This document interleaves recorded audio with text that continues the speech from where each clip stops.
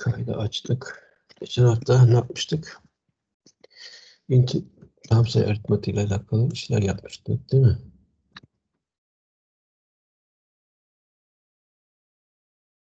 Program yazmıştık en son.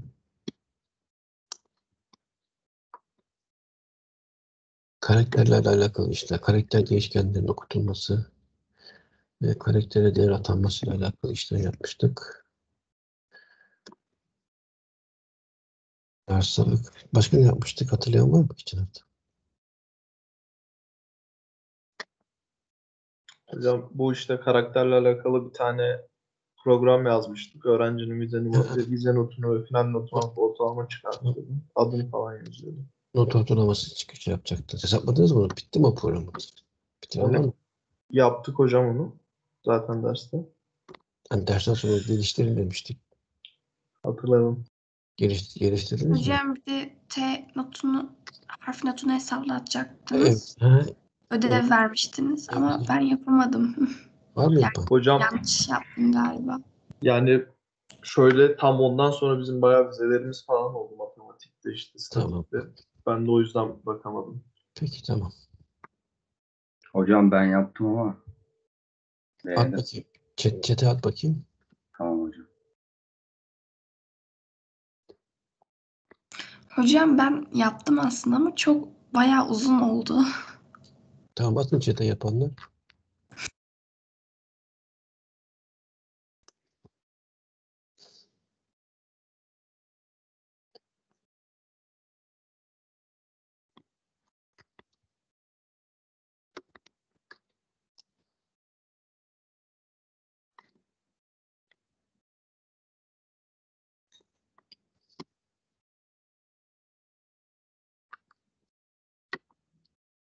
Tunahan.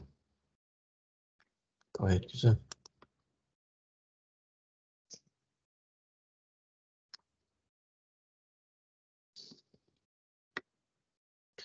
Şeye bakalım, paylaşım açalım.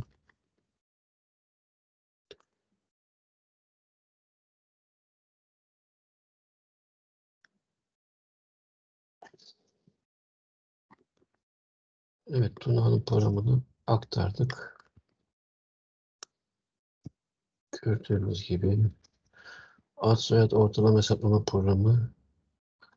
Bu kadar uzun programa burada açık şeye gerek yok şey Hanım. Eğer istiyorsanız şuraya oraya daha kısa bir program yazıp şu kısmı böyle kendine açıklama olarak buraya koyabilirsin. Ama bu da olur problem değil. İstisiyle alakalı. Yani açıklamanı, programın açıklamasını bu altta yapsan ne yapıyor, ne ediyor diye. Daha iyi olabilir ama gene bilmiyorum de kalmış bir şey. Yanlış diyemem. De- böyle de yapılabilir dedik.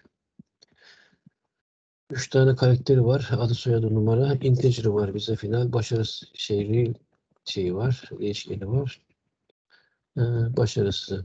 Başarı real yazmasaydı zaten B ile başladığı için real olacaktı. Yazmakta problem yok. Yazabilirsiniz. Integer eğer default'a gitseydik şey alacaktı.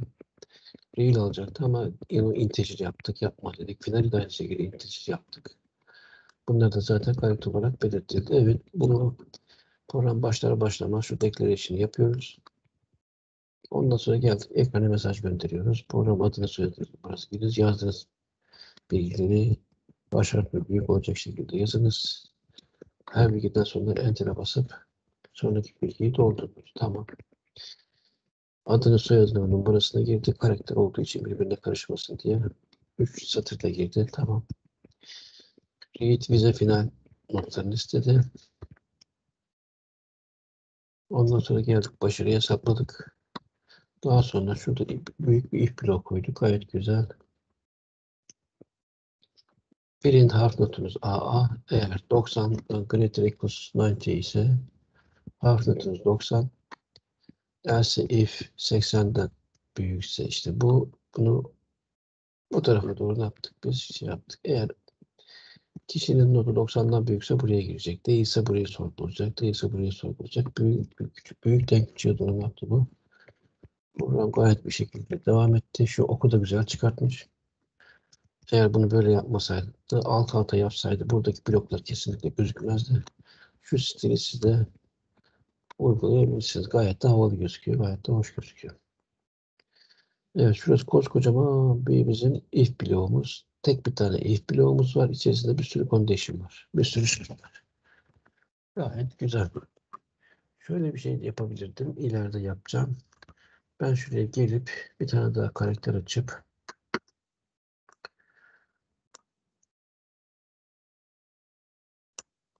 Aa, neyse kopya çekecektim olmadı. Karakter açıp da iki box ayırıp H not diye bir şey açıp onu burada böyle de yazabilirsiniz. Veya burada H not eğer şeyse eşittir ne bileyim işte eğer bu şartı sağlıyorsa harf notuna ben tırnak içerisine A A atayabilirim.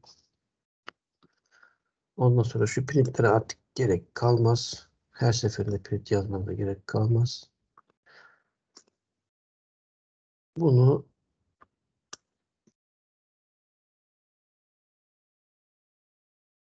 böyle devam edebilirim.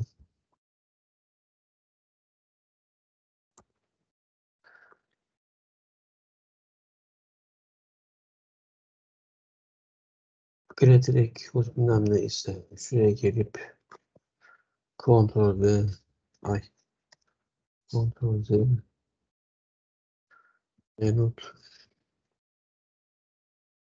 bir tırnak içerisinde VA yazıp bunu böyle bütün hepsi için verebilirim.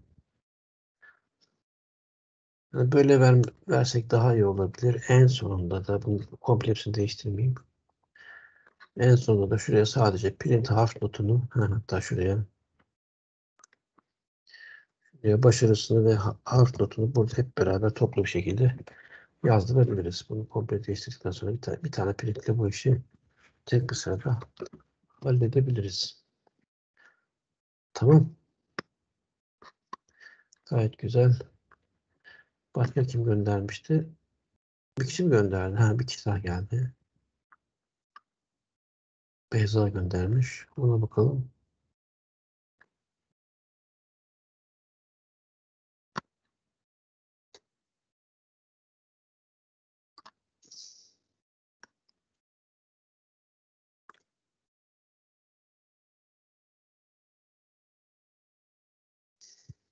Tırnaklarda alırken problem çıktı. Olsun. Onu şey yapmayın. Nok- Nokta noktaları görmeyin. Bunlar tırnak olacak. Copy paste yaparken problem oldu. Evet geldik. Beyza dedik. Declaration yaptık. Adı ve soyadı için 25 box'lık bir karakter değişken açtık iki tane. Gene numarası için 9 karakterlik bir şey açtık. Ha, bu daha iyi olmuş. Biraz öncekinde hepsi için şeylik etmişler.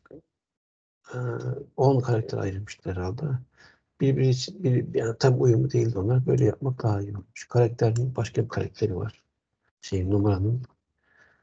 Adı ve soyadı için biraz daha uzun ayırmakta fayda var. Bu ad soy- soyadı için Türkiye'deki standartı biliyor musunuz?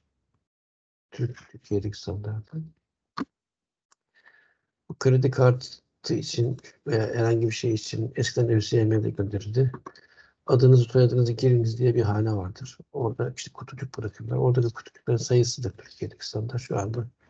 Tam hatırlamıyorum. Ülkeden ülkeye değişir. Her ülkenin soyadı için yazı kullandığı karakter sayısı farklıdır.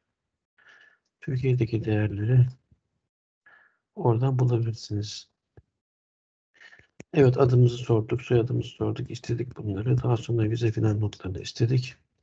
Ha bir de şey ama declaration'da vize ve final integer yapsak daha iyi olur gibi geldi. Bir önceki arkadaşın yaptığı gibi. Ortalamayı hesapladık. Ondan sonra T notu ne? Ha bizim yeni sistemdeki notu. notumuz. Tamam tamam. Hocam. He? Harf notu hocam. Harf notu vermek için hesaplanan değer değil mi bu? Evet. Tamam bu yeni sistemi uyarlamışsın. Ben senin kadar hakim değilim. Ondan sonra geldik bunu bulduk. Ondan sonra bu ne? SM Ford ne? Hocam bir sınıf ortalaması için Hani onu hesaplamadık ama daha. sınıf bilmiyorum. ortalamasını direkt girdirdim. Ha girdin, direkt girdin. Tamam. oldu. Şeyde şu printte sordum. Yukarıda. Tamam. Sınıf ortalaması göre direkt 80 ise burada iki farklı iplo açtım. Bir tane böyle açtık. Ondan sonra geldik. Yani sınıfın ortalaması yüksekse şu sınırlar değişiyor. Ee, şuradaki şunlara şey olmuş. Şunlar, nok- şurada nokta olacak bunlarda. Tamam. yaptım. Çalışmaması lazım. Çalıştırdın mı sen? Hayır. Ha. Şunları yazarken de noktayla gireceksin. Tamam. Şuradan. Burası evet doğru. Ee, ben de zaten kapattım. Şu endlerin önünde sonunda nokta olacak. T notu greater equal 80 ise ve T notu less, than 89 ise print BA biraz önce yaptığımız gibi buraya bir değişken atayıp bunları değişkene e, yüklerseniz daha iyi olur. Ondan sonra en sonunda hepsini beraber yazarsınız. Hep print de yapılabilir ama o değişken atamak daha faydalı olabilir. Ondan sonra şu bizim bir bloğa girdik. Bir bloğuna girdik. Blok buradan başladı. Notlarımızı yaptık. FF geldik. Hocam hem bir de farklı bir sınıf ortalaması için şey yaptırdım. Şeyi arıyorum. Burada bir if bloğum var. Şu if nerede? Onu arıyorum. End if'i arıyorum. Hocam endifi yazmayı unutmuşum. İki tane end if'in olması gerekiyor. Çünkü iki tane if açmışsın. Onları arıyorum. İkisi de mi? Hocam bir de ondan sonra tekrar bir sınıf başka bir sınıf ortalaması daha şeyi girdirdim. O Yukarıda sınıf- hocam FF'den sonra. Tamam. Sınıf ortalamasını istedik. Güzel. Yeni sisteme göre. Ama şu if blokları kapanmamış. Onun için hangisi? İç içe iki tane if, if bloğu olmuş böyle. O her bloğu nerede bitiyor onu anlamadım. Hocam şu, yukarıda bir FF var. Ondan sonra tekrar sınıf ortalaması girdirdim. Ha, Yani tekrar eğer sınıf ortalaması e, bakayım bir dakika. 59.6 ise yaptırdım. Şu mu? Hı hı. Nerede Orada- girdi? Read var mı? Hocam? Read Orada tekrar bir şey e, if dedim eğer dedim sınıf ortalaması 59'un altındaysa demek istedim. Burası karışmış gibi Beyza ya. Evet biraz Ama Bir karıştı. daha bak. Tamam. Tam bir şey yapamadım. Başka gönderen? Yok. Hemen iki kişi olduğu için kolay. Bir Beyza vardı. Sen, sen Beyza sen miydin? Beyza Evet Nur. hocam. Beyza nerede ismin şu? Beyza Nur Atasoy. Hı hı. Verelim bugünden. Diğer arkadaş neydi ismi? Tuna hocam. Tuna Şahin. Mahmut Şahin. 15 puan verelim. Siz tamamladınız galiba.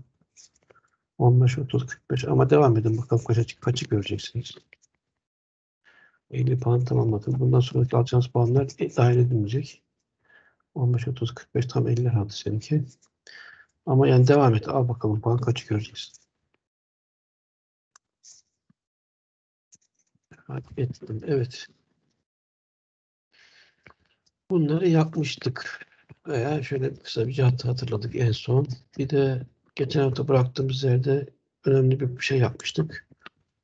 Biz moloza muhakeme yaptırmıştık. Yani onu nasıl yaptırdık? Ulan ne dedik adama biz? Hocam sesinizi bir iki tık açma ihtimaliniz var mı? O ihtimal yaklaştırırsan iyi. Şimdi nasıl? Aynı hocam ya çok değişmedi. Kötü mü? Yine mi bozuldu bu ya? Değişiyor mu? Yok hocam değişmiyor. Yine galiba bilgisayar mikrofonundan alıyor olabilirsiniz. Bilgisayar mikrofonu kullanmak istemiyor ama bir şey olacak.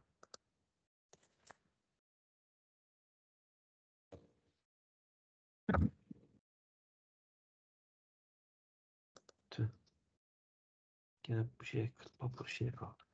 Belaya kaldık biz.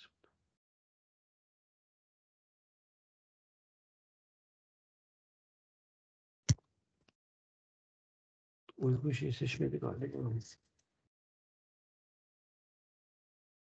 Hocam galiba şu an bilgisayarın mikrofonunu kullanıyorsunuz. O yüzden kulaklığı yaklaştırınca değişmiyor sesiniz. Bilgisayar mikro şimdi mi kullanıyor? Ama ben Benim tahminim hocam bilmiyorum ama sesi kulaklıktan duyuyorum. Buradan mı bozulduk ya? Bunun ayarlarını nereden yapıyorduk ya? Şu şuradan mı yapıyorduk? Veya dur şeyi değiştireyim. Şimdi ben kapattım mı? Yok kapatmadım.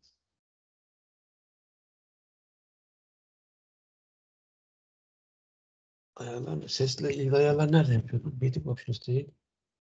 Devices. Mikrofon seçeneğim var mı benim?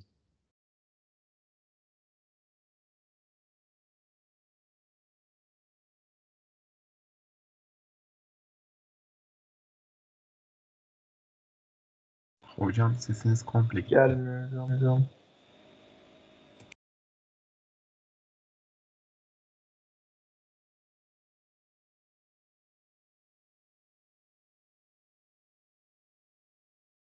Şimdi Şimdi geldi hocam. iyi mi kötü mü? Aynı mı? Benim için normal. İyi hocam şu an. İyi mi şu an? Evet. Ne oldu anlamadım. Aynı yere girdim çıktım. Neyse o zaman dokunmayalım. Evet burayı iptal ettik. Ha, buraya tam seyrettik mi biz bunu? Etmemize gerek yokmuş herhalde. Yani gitti tamam. Geçen hafta şey yapmıştık biz. Bu monoza muhakeme yaptırmıştık. İşte tam sayıtmada atmetinden bahsetmiştik. Canımızı sıkan bir şeydi ama acayip bize ilaç gibi de geliyordu. Zaman zaman bilgisayara muhakeme yaptırma imkanını bize kazandırıyordu. En son şu programı yazmıştık. Kullanıcıdan bir tane değer girmesini istemiştik. Print yıldız demiştik. Enter number dedik. Ondan sonra ne oldu? Bunu okutturduk. Print yıldız dedik. Bunu bir tam sayı. Önemli olan burada tam sayı aritmetiğini yürütmek. Dolayısıyla bir tam sayı zarf içerisinde okutturduk. Ondan sonra başka bir tam sayı hesapladık. Buradan ne yaptık? Bu tam sayıyı 2 ile çarpıp 2'ye böldük. Eğer bu tam sayıyı 2 ile bölüp 2'ye çarptık pardon. Eğer bu girdiğimiz k tam sayısı tek bir sayıysa km'ye eşit olmuyordu. Mesela 3 girdiyse 3 bölü 2 1,5 oluyordu. O buçuğu atıyordu. Çarpı 2 dediğimiz zaman işte 2 ile karşılaşıyordu. K'ya eşit olmadığı için şurada hemen bilgisayara if diyorduk. K m eşitse bu sayı ne diyorduk? Çifttir. K equals m m equals print ekranı print yıldız virgül tırnak içerisinde çifttir diyorduk. Ondan sonra yok değilse else aksi takdirde ya eşit değildi de sormaya gerek yok. İstiyorsanız da sorabilirsiniz. If K not equals m demenize gerek yok. Eşittir. Eşit, tek, tek bir soruyla bunu geçebiliriz. Orada ikinci bir soruya gerek yoktur. Malum ilanıdır. Print yıldız virgül dedik. Aksi takdirde bu sayıda nedir? Tektir diye böyle bir moloza muhakeme yaptırmıştık. Moloz. Ondan sonra bu yazılımda girdiğimiz sayının tek mi çift mi olduğunu anlar hale gelmişti. Veya bize söyler hale gelmişti. Önemli bir şeydi. Bunu monoz yapmıyor tabii. Biz bunu ne yapıyoruz? Monozu yani monozu bu özelliği şeyi biz kazandırıyoruz. Mı yazmıştık? Hatırlar mısınız? Hatırlıyorsunuz değil mi? Şimdi gelelim ben size bu programı yavaş yavaş ilerletmeye çalışıyorum. Ben bunu kaydedeyim şimdi. Bir kere bir çalıştıralım. Hatta şunu Neyse. Doldur boşalt yap yapalım. Doldur boşalt. Hatamız yok. Yaptık. Ondan sonra execute yapıyoruz. Nerede? Execute dedik. İşte tek bir sayı girelim. 33 enter diyelim. Tektir diye doğru cevap verdi. Hadi bir kere daha çalıştıralım. Execute. Bu sefer de 44 diyelim. O olsun? Çifttir demişsin. Evet programımız ne oldu? Moloz girdiğimiz sayının tek mi çift mi olduğunu bilir hale geldi. Yani burada neyi kontrol ettik biz? 2'ye bölünebilir mi, bölünemez mi? Onu kontrol ettik. Şimdi sizden bir program daha yapmanızı isteyeceğim. Ne bileyim, girdiğimiz sayının öyle bir şey var mı bilmiyorum. Olur mu ki onu da bilmiyorum. Olur herhalde. 2'ye ve ne bileyim 17'ye bölünüp bölünmediğini bulan bir program yazın dersen en azından programı yazalım. Sayı var mı yok mu bilmiyorum. Benim girdiğim sayının 2'ye ve 17'ye tam olarak bölünüp bölünmediğini eee, belirleyen bir program yazabilir misiniz dersen herhalde yazarsınız. Hadi onu yazın da atın bakalım bana. Onu alalım burada çalıştıralım.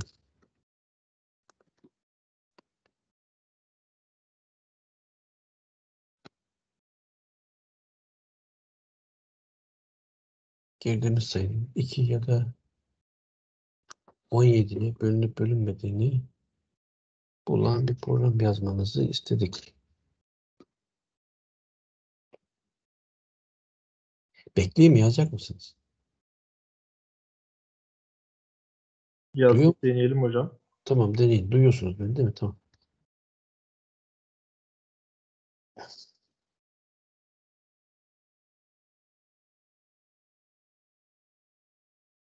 Hocam aradayken bir şey sorabilir miyim? Sor. Ee, bizim not değerimiz vize yani vize final oranımız %30'da %70 mi? Vallahi bilmiyorum. Bakmam lazım sisteme. Hatırlamıyorum. Hocam 2'ye Vallahi- ve diye bölünüp bölünemediğimi e, kontrol İki- edelim yoksa öyle bir sayı mı bulduralım? 2'ye ve veya şöyle diyelim. Onu boş verelim. Bana şey yapabilir misiniz? Hadi onu boş verelim. 7'ye bölünen sayıları 1 ile 100 arasında 7'ye bölünen sayıları veya önce ona girmeyelim. Sadece 7'ye yani girdiğim sayıyı ben bir şey yapayım. 7'ye bölünüp bölünmüyor. Bana onu söylesin. Bölündü ya da bölünmedi diyelim şuraya. Bölündü. Bölünür. Onu ben yapayım hadi şey yapayım. Şimdi bir sayı gireceğim. Onun 7'ye bölünür ya da bölünmez olduğunu test eden bir program yapmak istiyorum. Tamam. Onun için 7'ye bölünecekse işte şunu 7 ile çarpıp 7'ye böleceğim. Aynı şey. Bir şey olmayacak. Herhangi bir sayı gireceğim. Şimdi ondan sonra bu program çalıştırırsam bu program run ederse ondan sonra ben bu programı çalıştırdığım zaman ne yapacaktır? Girdiğim sayı ne bileyim işte o kaç diyelim 56 bilmiyorum. 56 girersem bu bana ne cevap verecek? Bölünüyor mu bir şey diye? Vallahi. Bölünür mü 7'ye? Bölünür hocam. Bölünmüyormuş. Nereden buldum ben bunu? Kaç kaç çarpı? He? 8 hocam. Öyle mi? Ha doğru ya. Çarpım tablosu bilmiyorum. Evet bu bölünürmüş. Tesadüf bilmiyordum.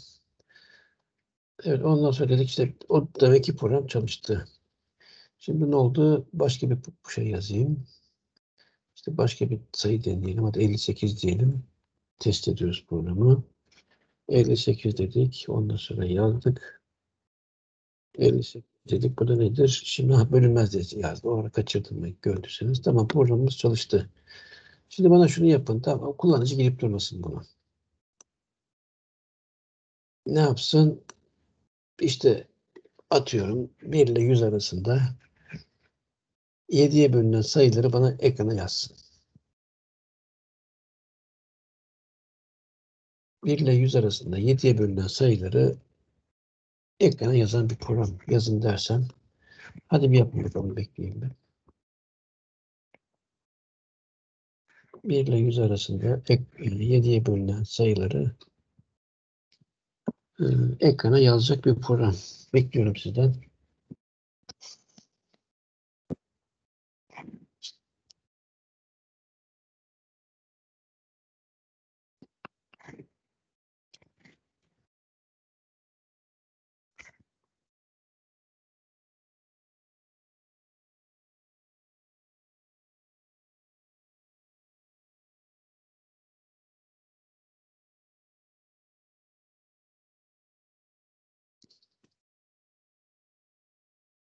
Göndereceksiniz değil mi?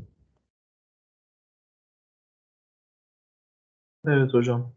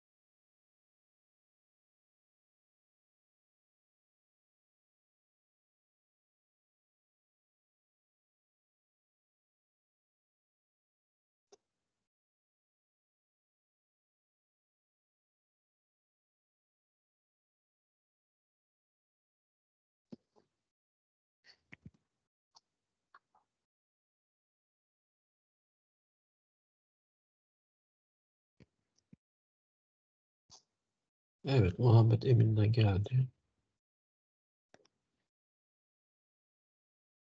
Alalım bunu. Yapıyor musunuz? Bekleyeyim mi? Hocam bu benim programım aynı zamanda bölünmez diye de yazıyor. Onu kaldırayım mı? Bölüm Kal, ya- sa- sadece sayıları yazsın yeter. Bölünür bölünmez demeye gerek yok. Sadece bölünen sayıları ekrana yazsa yeter. 7'ye bölünen sayıları ekrana yazsın yeter.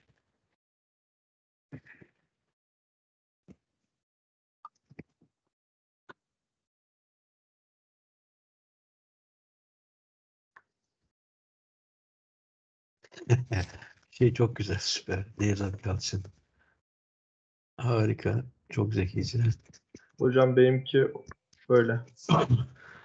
Şu şeyin e, Nevzat Yalçın'ın gönderdiği şu Gördüm program hocam. Yedişer yedişer direkt yazdı. çok, çok güzel, zekice ama diğerini yapmaya çalış Nevzat. Bu normal dediğim gibi benim ekranda olandan gibi yap. Başka doğru, başka yere doğru gideceğiz çünkü. Bir altyapı hazırlamaya çalışıyorum. Onun üzerine başka bir şey inşa edeceğiz çünkü. Yaptığın çok açık, akıllıca, çok güzel. Doğu'nun da nasıl kullandığını bize anlatıyor. Ama bak ento'yu koymamışsın.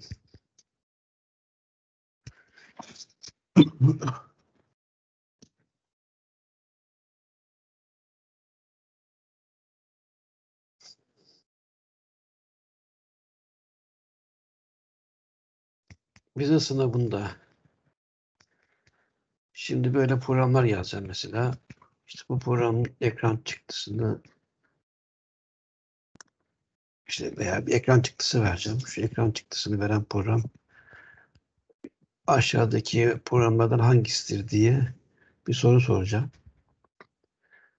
Şimdi burada ekranın kopyalanıp şey ya- yazılmaması için hani bilgisayara aktarılmaması için veya aktarılsın o da önemli değil. Ee, bu programın iç- üzerinde bazı sintaks error'ları koyacağım. Yani işi biliyorsanız o sintaks error'ları düzeltip programı çalıştırırsınız. Onu bilinçli olarak koyacağım ben. Bu programda sintaks error'ları, sintaks error'lar bırakılmıştır. Gibisine bir not yazarak şey yapacağım. Yani o sorun üzerinde sintaks error bırakılmıştır, vardır gibi bir şey çıkarsa karşınıza Hani orada kullandığınız, orada gördüğünüz, orada ufak mesela ne bileyim işte Ömer diye bir değişken yaptı diyelim. Aa bu program Ömer yazıyor, bu program çalışmaz demeyin. Tamam mı? O Ömer ben bilinçli olarak yapmışımdır. İşi bilen adam oradaki Ömer'i görmesin. Yani eğer onu yapmasaydım, işi bilse de bilmese de buradaki programı kopyalayıp yapıştıracaktı ve çıktığı görecekti. Hiçbir şey bilmeden cevaba ulaşamaması için Ha, onu Ömer'i Ömer yapıp gene kopyalayıp oraya yapıştırabilir. O onun problemi. Problemi değil, diyelim. Onun becerisi onu yapabilir ama en azından bir şey bilerek yapsın. Diye böyle bilinçli hatalar yapacağım. Bilerek hatalar yapacağım. Direkt bir copy paste'ları önlemek için bilginiz olsun. Ve hata yaptıysam da oraya yazacağım. Bu, bu soruda bilerek hata yapılmıştır diye. Bir mesaj düşeceğim.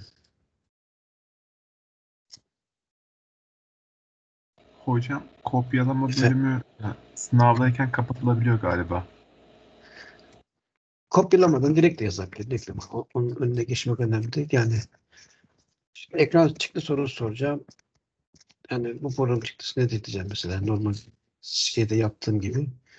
O hataları bırakmasam adam aynısını şey yapacak. e, Ne bileyim kendisi bakarak yazacak. Programı yazıp oradan direkt çıktı yazacak. Cevabı a, a buymuş diyecek. Yani hiçbir şey bilmeden o cevaba ulaşmasını engellemek için böyle bir takım sintaks error'ları yapacağım şeyde ee, mesela burada if eşittir if m eşittir mesela şeyin programında Muhammed Emin, Emin programında m ile j'nin eşitliğini sorguluyor. Ben oraya tek bir tane eşittir bırakacağım. Siz e, onu biliyorsanız o orada iki eşittir olmadığını, iki tane eşit işaret olması gerektiğini bilip programı ne yapacaksınız? Orada çalıştıracaksınız. Bu sintaks, sintaks yani eğer onu yapmak isterseniz. Yani programı çıktısını, bu programın çıktısını bulun dediğim zaman mutlaka bu programa çıktı vardır. Sintaks errorlarına takılmayın. Sintaks errorları bilinçli olarak yapılmıştır. Onları yok sayın. Algoritma ile alakalı hatalar değil. Sint sintaksla yazım hatası yapıyorum oraya onu ekrana taşımamak için ve hemen oradan çıktıya ulaşmamak için. Hiçbir şey düşünmeden o çıktığı bilgisayarda yaptırmamak için böyle hatalar bırakacağım. Mecburen bilginiz olsun.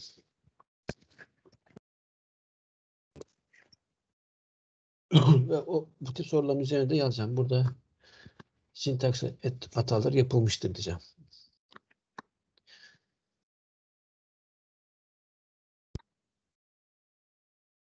O bayağı bir program geldi. Paylaşım açık. Yolumuza devam edelim. Allah Allah. Biz düştük mü şeyden yok düşmedik buradayız. Evet şu şeylerin üzerinden hemen gidelim. Öbürkün üzerinden gidelim. Buradan gidelim. Bunu, yap, bunu yapmıştık. Bunu buraya geri hallettik. Eniz hemen bir tane döngüsü koyuyoruz. Ondan sonra gayet güzel. J'ye yani buradaki artık şu demin ne yapmıştık biz bunu benim programımda. Bunu oku demiştim.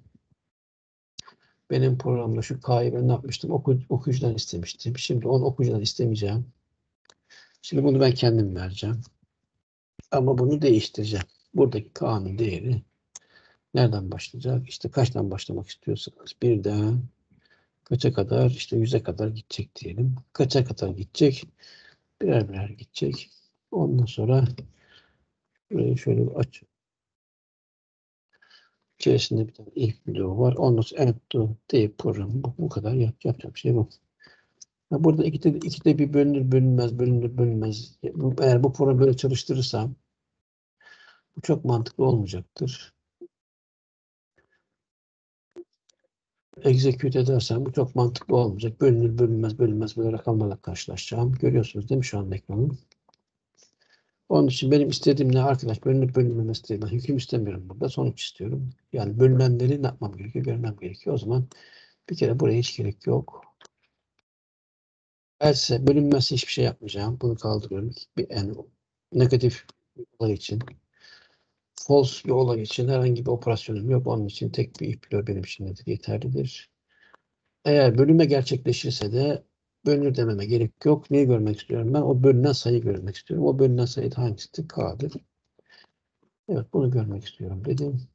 Programımızı, bir önceki programımızı bu şekilde modifiye ederek buradaki çarpım tablosunun şeylerini. Yani 7'ye bölünen, bölünen sayıları ne yaptık? İşte bu şekilde ne yapmış olduk? Biz yazdırmış olduk. Şu yazdığınız programdan şöyle bir bakalım bir hızlıca. Muhammed Emin Bozkurt bu J dedi 7'ye bölündü. Bölündü, Hocam bölündü. onu ben e, şeyi Değişti. düzeltip atmıştım değiştirdiniz. Nevzat Yalçın'ın programı çok akıllıca, çok güzel. Böyle de kesinlikle yapabiliriz. Bu da çalışır. Ama gitmek istediğimiz yer burası değil. Şimdi biraz önce ama buradaki end do'yu koymak koyması şartıyla printten sonra bir end do koyacak. Ondan sonra bu program çalışacak. Yani ne- yapmış bu? Güzel bir program. M birden yüze kadar nasıl hareket etmiş? Ha, o, peki oluyor mu bu? Ne, ilk ne verecek bize bu? Bir M'liği yazacak bize. Biri yazacak. Ondan sonra çalıştıralım bakalım doğru mu program? 8 yazacak hocam. 8 yazacak. Olmadı. O zaman ne yapacağız? Ne yapmamız lazım? Nasıl, düzelt nasıl düzelteceğiz? Sıfırdan başlatamaz mıyız? Sıfırdan başlatacağız. Birden de sıfırdan başlatacağız. Bunun başlangıç initial value bilgisi zero. Ondan sonra ne yapacak? Bu devam edecek. 0, 7, 14 diye ne yapacak? Program yolunda devam edecek bu şekilde. Evet geldik mi? Muhammed Emin Bozkurt. Ya da m eşittir m eksi 1 de yapabilirdik değil mi hocam? Sıfırdan başlatmak istemişsin. Yazarken mi?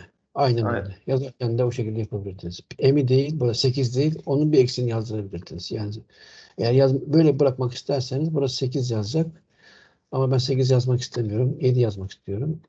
M eksi 1 yaz, yazdırma esnasında bir eksini yazdıracağım. Şurada print yıldız ve virgül olacak. Evet geldik Muhammed Emin.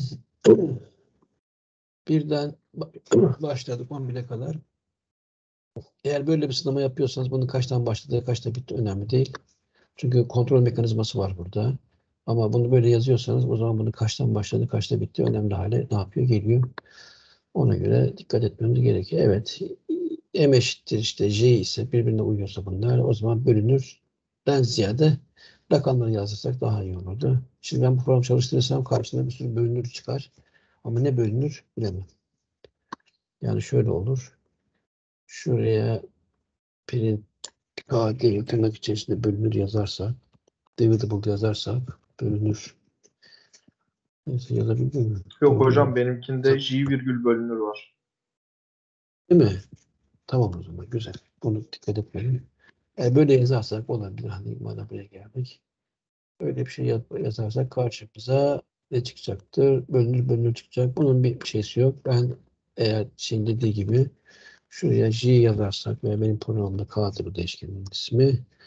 K virgül dersem o zaman o olur o zaman. Ama bölünür bölünür bölünür de işte 7 bölündü, 14 bölündü, 21 bölündü. Bunları ne yaptık burada böyle? Çıktı. Bura bitişti bakın burası. Arada ne var böyle? Yani çıktığımız çok hoş olmadı. İleride dönemin son haftalarında buradaki yani bu çıktığı düzenlemek için bir format komutumuz var. Onu göreceğiz. Şu aşamada böyle bir kargaşalık varsa onu düzeltmek için biraz üçkağıt yapın. Şurayı direkt böyle tırnaktan sonra bölümle başlatmayın. Şuraya 2-3 tane space bas- basın. Ondan sonra şeye girin. Bölümleri ta- type ederseniz oradaki o kargaşa ortadan kalkacaktır. Evet şimdi girdiğimiz şey boşluk kadar boşluk karakterdir. O girdiğimiz üç tane boşluğu da yazdı, type etti. Ondan sonra ne yaptı burayı böyle devam ettirdi. Şu eee Ö harfini mesela şey basamadı bizim. Şu anda benim işletim sistemiyle alakalı bir şey. Ü harfini basamadı.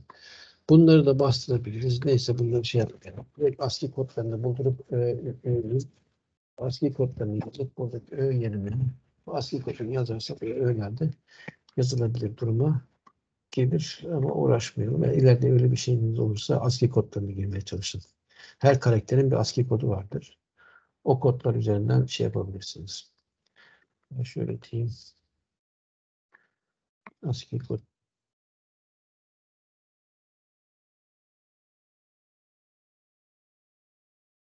Teba.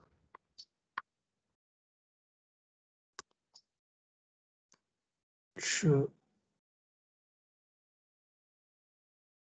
şurada bizim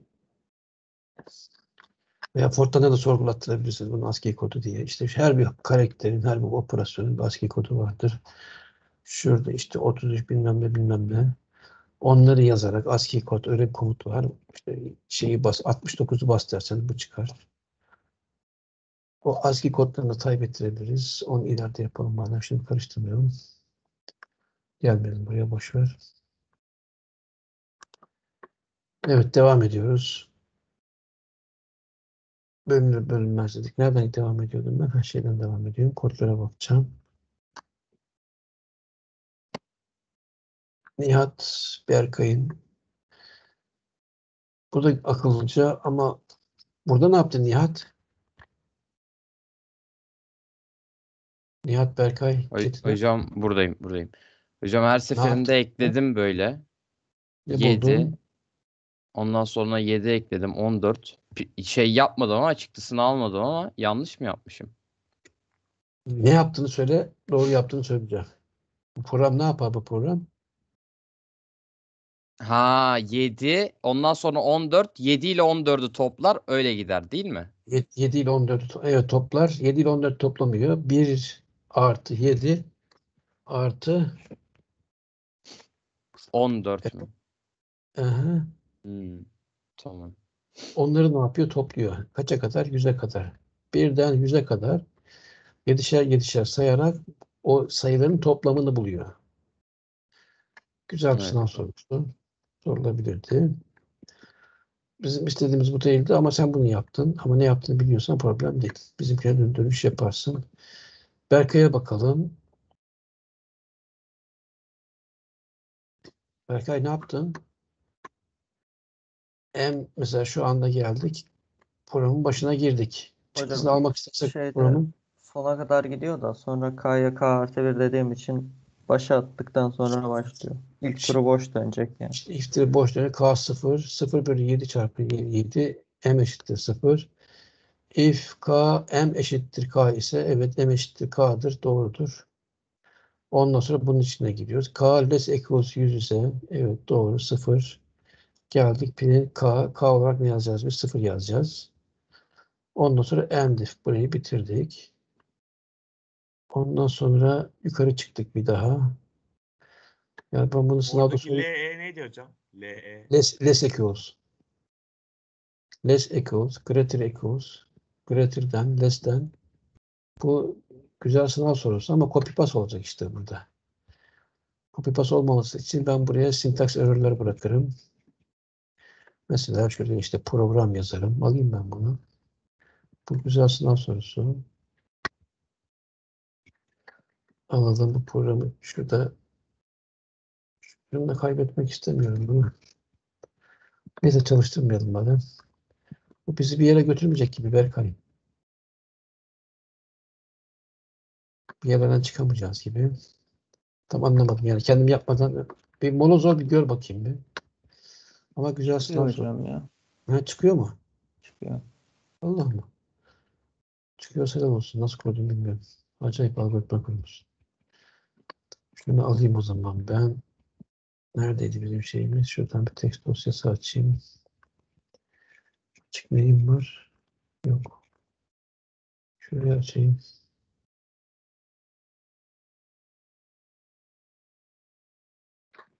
Haydi. Tek.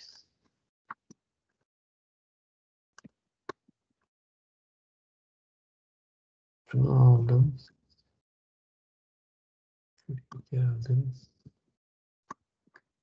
Şimdi senin programını alayım. Hem bir şey var onu da göstereyim. Yavaş yavaş büyüyelim artık. Neredeydi ya bizim yazıldığımız şeyler? Ha şuradaydı. Berkay'ın programını aldık. Getirdik. Şunu, aa, dur ya. Niye ben böyle yok. Tamam. Pas yaptık. Ondan sonra çalıştıralım bakalım. Ne yapacaktık? Compile yapacaktık. Ondan sonra build yapacaktık ve execute yapacaktık. Aferin sana. Yani kendini çalıştırmadan nasıl çalıştığını anlamam. Aha ne oldu? Bu niye öyle oldu hocam onu bilmiyorum. Bilmem sana sormak lazım. Bilgisayar yapmadı sen yaptın. Nasıl becerdin bunu? Onu nasıl yaptık hocam? Bilmiyorum ki. Sen yap. kafası karıştı. Sen becerdin bunu. Sakın ha sakın bak. Bilgisayara söylemeyin bunu. Burada ne olduysa sen becerdin. Bir de böyle eksilere gitti bu. Ne yaptı acaba bilmiyorum. Yani tek tek benim moloz olmam lazım anlayabilmem için. Şimdi bu kadar ben dönemem. Onun için moloz olmak istemiyorum. Yani bu kadar büyük rakamlara dönemem. Tek tek dönseydim olurdu. Korktum yani dönmeye. Şöyle bir şey var. Şimdi bizim programımızı execute ettikten sonra geliyorsunuz şuraya bir tane tool açacaksınız.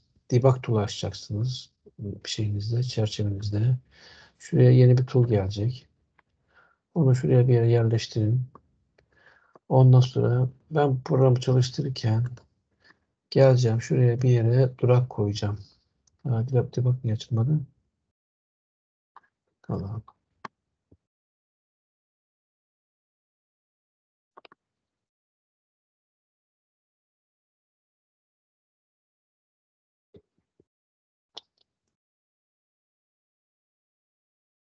Durak olması lazım.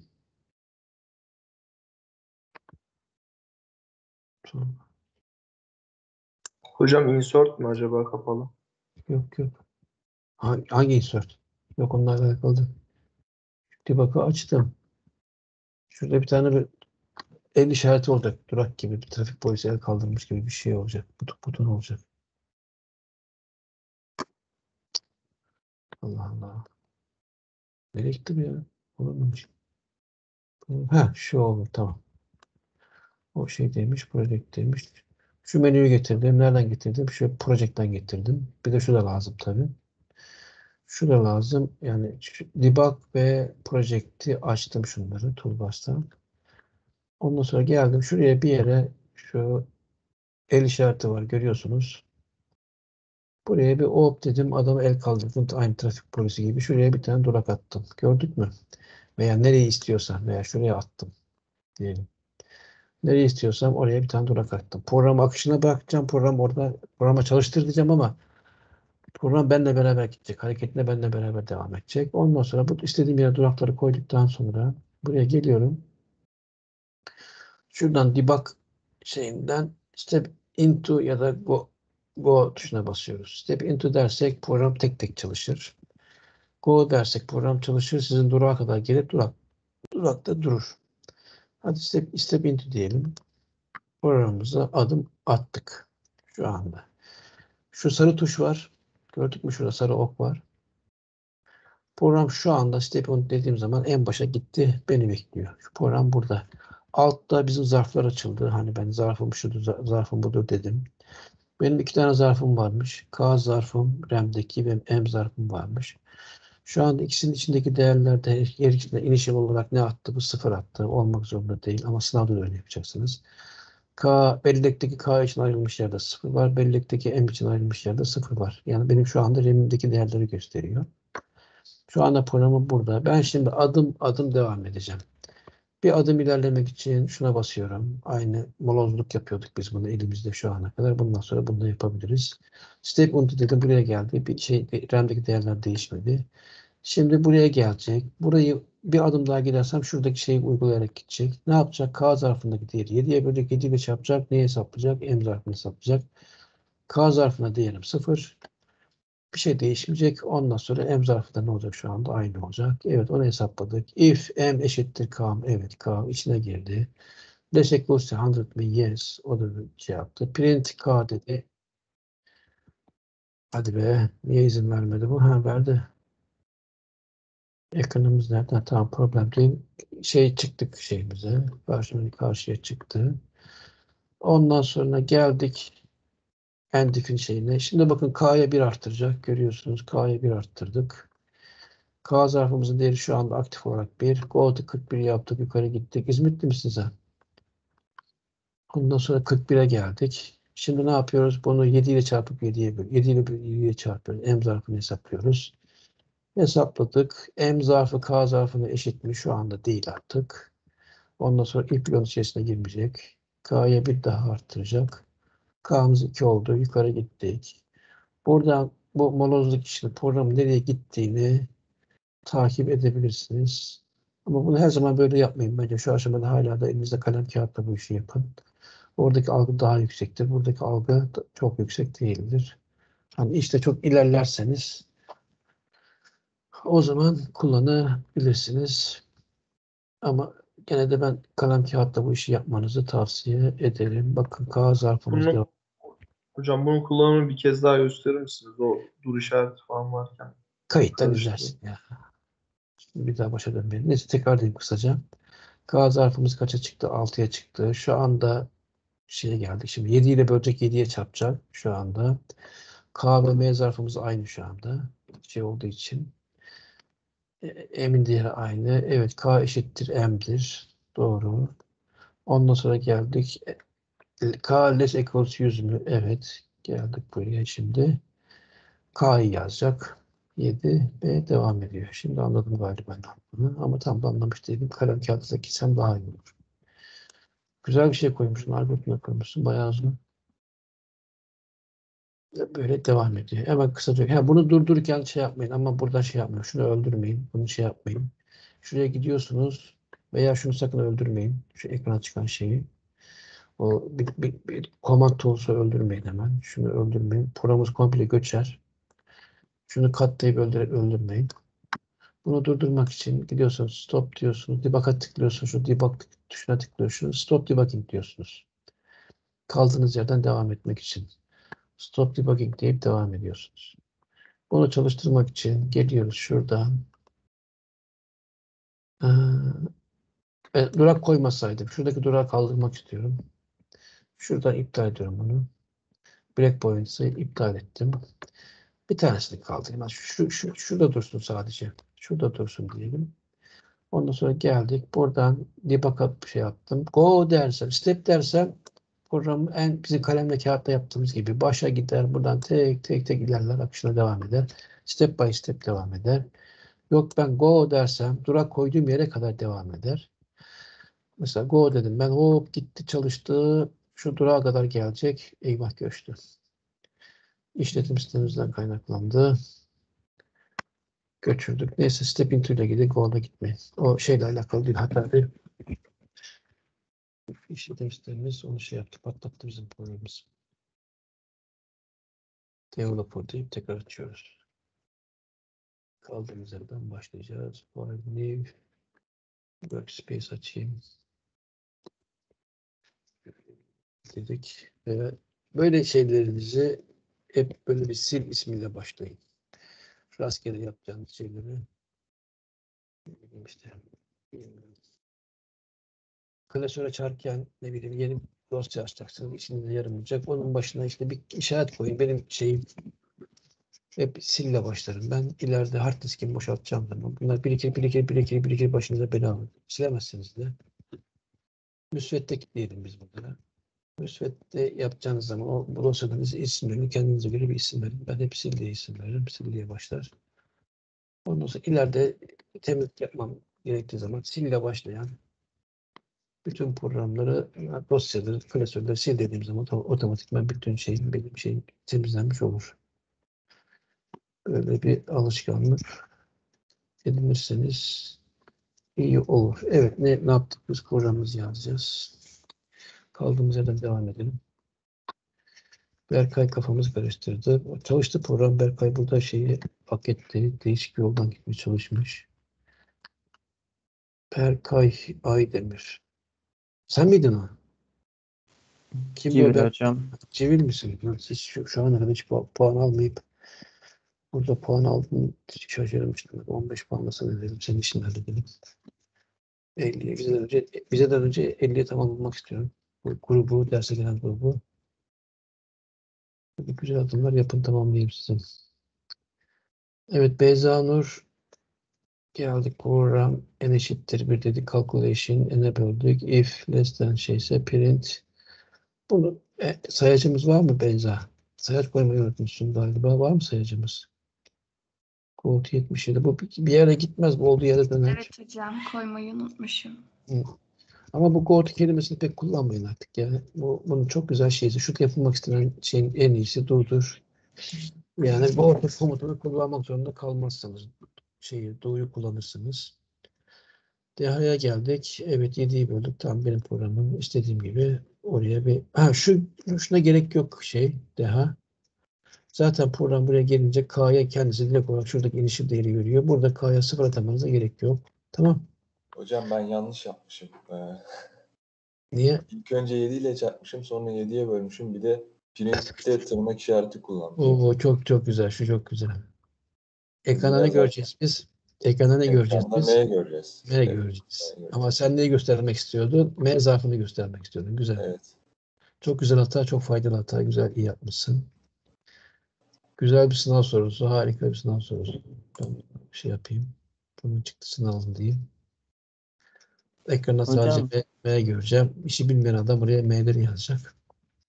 Evet yani siz şimdi bunu söyle böyle bir program vermiş olsanız sınavda biz bunun çıktısına M mi yazacağız yoksa M zarfı da mı yazacağız? Hiç düşünmeyeceksin. Moloz gibi hareket edeceksin. Moloz ne yazıp onu geçeceğiz zaman. Hiç yorum, hiç yorum yapmayacaksın.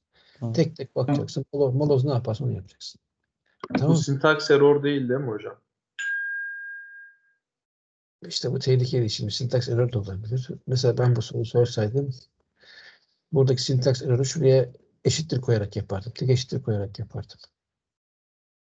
Ama siz bunu sintaks error olarak da anlayın. Ama bu sintaks error değil. Bu çalışır yani bu program. Yani ben buraya tek eşittir koyarak bunu yapardım. Buradaki hatayı orada yapardım. Ya da şuraya nokta koyardım. Bir virgül değil de bir nokta koyardım. Adam bir şey bilmiyorsa gelir aynısını bile yazar. Nokta diye yazar. Anlamaz adam bir şey. Orada yazdığı program bir türlü çalışmaz. Yani oraya bir, bir iki değişiklik yaparak siz buradaki programı baka baka kendi şeyinize yazdığınız zaman çalışmayacak. Amacım o. Çalıştırmamak. Mesela şuraya deneme boşluk koyarım buraya. Adam bunu alır aynen yazar. İşi bilmiyorsa. Ondan sonra gelir o program burada hata verir. Çalışmaz, bulamaz, orada takılır kalır o adam. Ama ben bunu ister tırnaklı yazayım, ister tırnaksız yazayım bu program burada çalışır. Yani çalışmasına engel değildir. Tamam mı? Oradaki hata, hata yapmamın sebebi bu programa bakarak şeye yazıp aynı çıktısını almak isteyen adamın önüne taş koymak için. Ayağını çelme takmak için. Hani işi bilmiyorsa o işi yapamasın diye.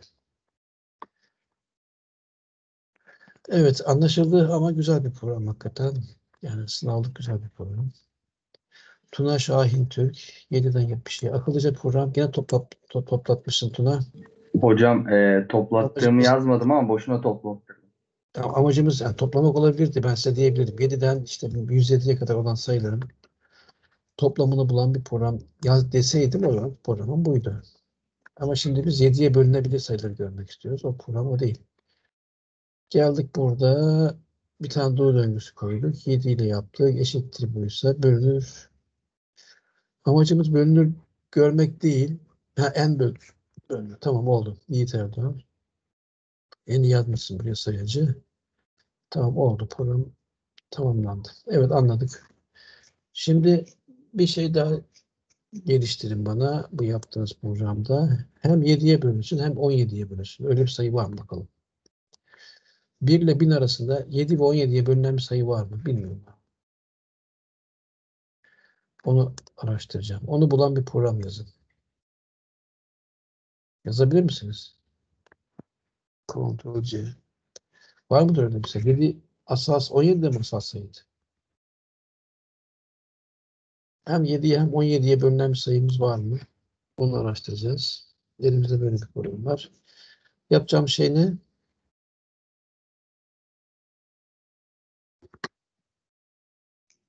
Yedi ile 17'yi çarpmak. herhalde. O da olabilir. O öyle gitmiyor. 10 bin mi hocam? 10 bin mi olsun 1000 mi olsun? 10 bin diyelim. Hadi 10 bine kadar.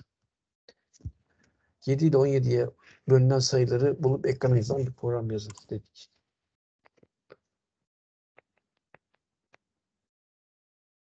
Ne yapacağız?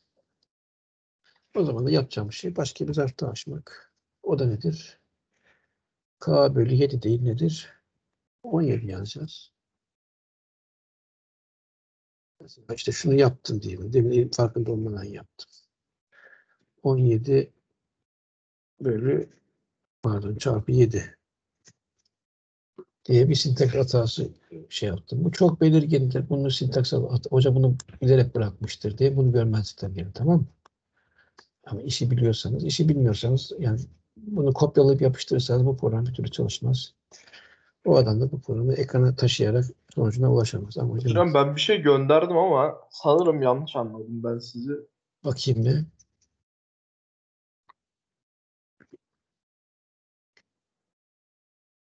On bine kadar. Ha olabilir bilmiyorum. Böyle açık açık yapalım. Buraya iki tane if koymanızı isteyecektim. Bu da olabilir. 7 ile çarptık. İkisinin çarpımına bölünüyorsa bölünüyordur diye bir şey çıkarımda bulunabiliriz. Benim burada yapmak istediğim şey o da, o da doğruları bir deneyip bakmam lazım. Şimdi bir blok, bir if bloğu içerisinde iki tane şey şart yerleştireceğim. Ne yapacağım ben? K M eşitse bir de V ne diyeceğim ben burada? Ondan sonra K neye eşitse diyeceğim. Bu olay, bu olay ne anlatmıştır? Gerçekleşmiştir diyeceğim. İstediğim şey buydu. Biraz olayı aynı temeli büyütmekti amacım benim. Artık K'da bizim şeyimiz olacak. Ya.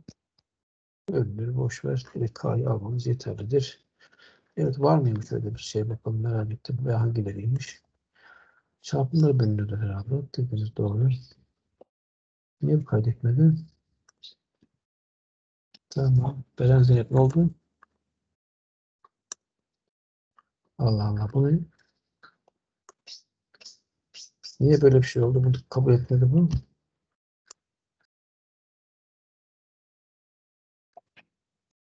Ha. Ne hatası yaptım gördünüz mü? Uzantısını karıştırdım. Text verdim. Şeyin bilgisayarın kafayı karıştırdık artık. Yok öyle bir şey de. Ne haber kızım? Ne? Ne yaptın? Ne? Gel ders yapalım beraber. Sen biliyor musun? Programlama biliyor musun sen? Ha, bilmiyorum.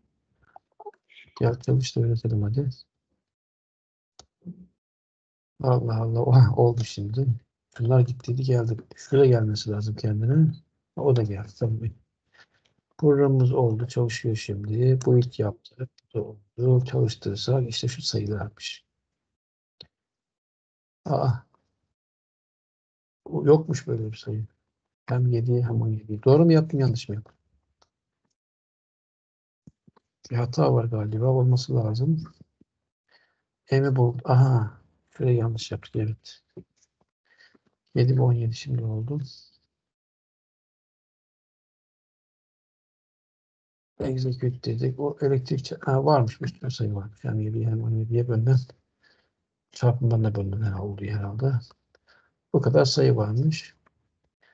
Evet anladık herhalde. Burada anlamayan var mı? Yapmak istediğimizi.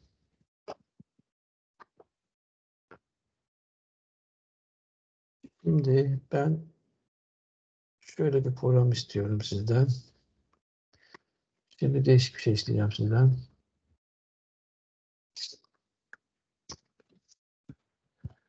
Bir sayı program çalıştırdık yazıyoruz. Bir sayı gir dedik. Sayı gir dedik. Mesaj çıktı ekranda. Ondan sonra siz girdiniz. Kaç girdiniz diyelim. 55 girdiniz. Enter'e bastınız. Ondan sonra bize vereceği cevap programımızın vereceği cevap asal değil diyecek. Tamam mı? Sonra bir sayı daha girmenizi isteyecek. Bir sayı daha gireceğiz. Sonra bir asal sayı söyleyin bana. 13 dedik mesela. O zaman ne diyecek program? Şurada gidecek asaldır yazacak. Evet. Şu şekilde çalışacak bir program yazın bana.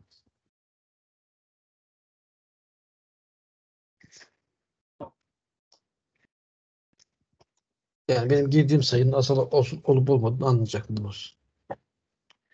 Monoza asal sayıları öğreteceğiz.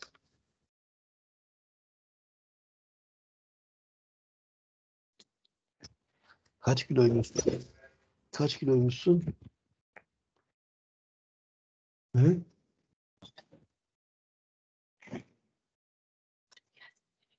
Nereye gidiyorsunuz? Gidiyorsun? Anlaşıldı değil mi? Koptuk mu? Burada mısınız? Deniyorum hocam. Tamam. 10.38, 10.40, hadi 11'e kadar ara verelim. Bulan çete atsın, yazan çete atsın programı. Bulan demeyeyim, yazan, programı yazan chatte paylaşsın. Bunu anlamanız çok önemli. Ben şimdilik şöyle bir dolaşıp geleceğim 11'e kadar ara veriyorum.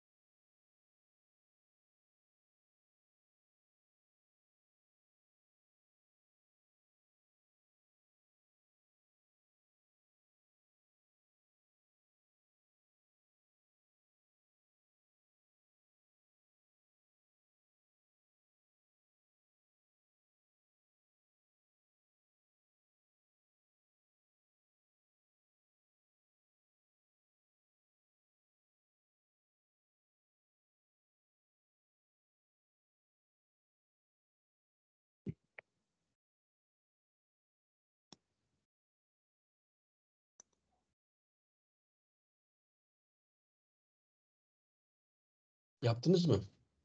Yapabildiniz mi?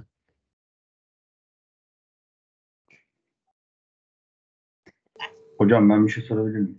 Sor. Ben yaptım ama eee Tamam. 2, 3, 5, 7 ve 9 için eee, asal değil çıktı. Yani sadece sadece çift basamakları doğru hesaplayabiliyor. Tek basamaklarda yanlış hesaplıyor. Onun şeyini Nasıl aritmetiğini kuramadım. Nasıl becerdin lan o işi? Hocam İsmi bakın? Tuna. Hocam 2, 3, 5, 7 şey alınca sadece 2, 3, 5, 7 hariç hepsini doğru hesapladı ama onları da yanlış hesapladı.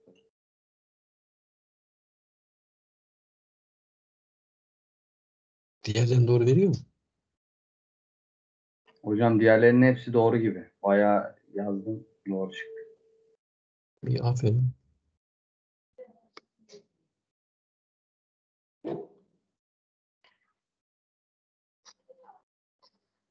M eşittir K bölü K çarpı K. Bu kendisidir her zaman. Bu niye böyle bir şey yaptı? O- onu ekstra yazdım hocam. Kendisine bölünebilen bir sayı olması gerekiyor o yüzden. Onu ekstra Tamam. yazdım. Yazmadım. Tamam, gerek yok buna. 2 bölü 2, 3 bölü 3'e böldük 3 ile çarptık. 5'e böldük 5 ile çarptık. 4'e 7'ye böldük 7 ile çarptık. Bu yetiyor mu? Hocam yetiyor benim e, yaptığım kadarıyla. Ama sadece 2, 3, 5 ve 7'yi onlara da şey diyor. E, asal değil diyor ama onlar asal. Mesela tam bilmiyorum böyle bir şey olduğunu. Tamam olursa olur diyelim. Kabul. Başka yapan var mı? Nevzat seninki bu mu? O hocam evet doğru. Gitti Muhammed girdi derse. Bir şey bir sayı girdik. Muhammed şu tam tam burayı e, yani yakalamışsın potadan dönmüşsün be. Hocam bakıyorum bakıyorum diyorum ben de anladım. Ufacık bir hatam var ama nerede var? Bulamıyorum ve sürekli asal değil yazıyor hocam. Ama seninki hiçbir zaman yani şunun içerisinde bir işlem yapıyorsun. Bu işlem hiçbir zaman işe yaramıyor ki. Güzel bir sınav sorusu. Hocam end do'yu end if'in altına açarsak yani do'yu dahil edersek if'i değişir Tabii mi? blok blok içine girmesi lazım evet. Ama hocam yine yanlış oluyor ya. Şuradaki ilk blok şu şeye doğru içine girmesi lazım. Bu iki bloğun ayrı olmaması lazım. İç içe konuşlanmış olması lazım. Bu iki, iki bloğun. Evet başka Nevzat'ınkine bakmış mıydık? Abi yok bakmamıştık. Hocam o şekilde de yaptım yanlış. Yine olmuyor yani. Nevzat kaç tane değer girdin ya? Ben bu programı çalıştırırsam Hocam Entu eksik orada da. Yok Sanırım Enter ol- eksik olacak değil. gibi. Tamam enter eksik bir de başka bir şey var. Eğer ben bu programı çalıştırırsam K2'den kaça kadar gidecek? 10.000'e kadar gidecek. Ve her gidişte benden bir sayı girmemi isteyecek. 10.000 kere girmeye ben sayı giremem ya dayanamam. Sen dayanabilir misin? 10.000 kere sayı hocam. girmeye. Doğru hocam. Bunu dışarı alman lazım. Bu fırtınadan kurtarman lazım bunu. Tamam mı? Şu iki komutu Tamam hocam. lazım. Ondan sonra geldik. M'i K'ya böldük. K'la çarptık. M K'ya eşitse o zaman ne gerçekleşmiştir? L ne? L'ye gerek yok. Ha L var bir de burada pardon. M var. M ne? M benim girdiğim sayı. Bunu yukarı aldık. K böldüğüm sayı bu M biz sayı girmemize gerek yok ki artık. Ha pardon sayı gireceğiz pardon tamam. M'i K'la bölüp K'ya böleceğiz. Evet sonuçta neyi kontrol edeceğim ben? M ile L'yi kontrol edeceğim. Bu işlemde işlemin sonunda elde ettiğim sayı M'e eşitse ne olmuştur? Demek ki bölme gerçekleşmiştir. Asallık bozulmuştur. Buna gerek yok. Hocam bir de kendisini girme durumu var ya o yüzden yazdım onu. Yok gerek yok buna. At- yok mu? en esadan bu kendisine gidecek. Mesela 7 e, Ha, yazdım. Ha, bu- Orada ha, bir burada, burada, burada, burada bir eksik var. Burada güzel bir eksik var. orada bir sıkıntıya düştü evet. Bu kendisi kendisini burada halledeceğim. Bu Aşağıda yazdım olmuyor mu hocam? Bu kendisi, kendisini burada burada halledeceğim. Biraz daha düşün bakayım. Bu kendisi şurada halledilecek. Ya diyelim ki 5 girdik. Evet. Ta bu sen bu 5'i m'i işte 2'den 10 bine kadar bölmeye gerek var mı? Yok. E, O ya da- oraya o- yazsak oluyor mu hocam? E olur tabii. Onu diyorum. Doğunun içine sadece Ya- rakam değil değil mi? Tabii tabii değişken yazabilirsin. Tamam Yani hocam. Şimdi, 5'e şimdi kadar 5'e kadar bölmen yeterlidir. 6'ya bölmene gerek yok ki. Yani en fazla Şimdi kendisine bölünür. Heh. Oldu hocam şimdi. Sağ ol. Evet başka şu işlemi anlamadım operasyonu. Bunu yapanlar var. Doğrudur. Çalışıyor da çalışıyordur. Hocam ama orada o 2 3 5 7'yi nasıl düzeltebilirim? Çünkü 2 3 5 7 asal ya. Asal değil diye çıkıyor. Onları tek yaz o zaman. Manuel yaz. Hmm. Onun Bir, haricinde iki çift basamakları doğru. Üç, iki. Peki adam iki girse zaten iki çalışacak burada. Hocam eğer 2 girerse işte Tamam olmaz olmaz. Doğru doğru. Sen bunu şeyden 2, 3, 5'i tek, tek kendi manuel asaldır de ondan sonra üstünü şey yaptır. Tamam hocam. Üstünü Hocam bu- ben anlamadım bu arada ya. Benimkinin dediğinizi şekilde de yapıyorum. Yine yanlış oluyor. hangisi hangisi En son hocam en son attığım şöyle yap demiştiniz. Do'yu içine al demiştiniz. Bir üstteki hatalı olan bir alttaki sizin dediğiniz gibi yaptım. Yine olmuyor hocam. Hadi oradan başlayalım. Seninkini aldık, programımızı attık. Olmayan şeye bir bakalım. Açılsana ya. Şu muydu? Ha. Şunu sildik.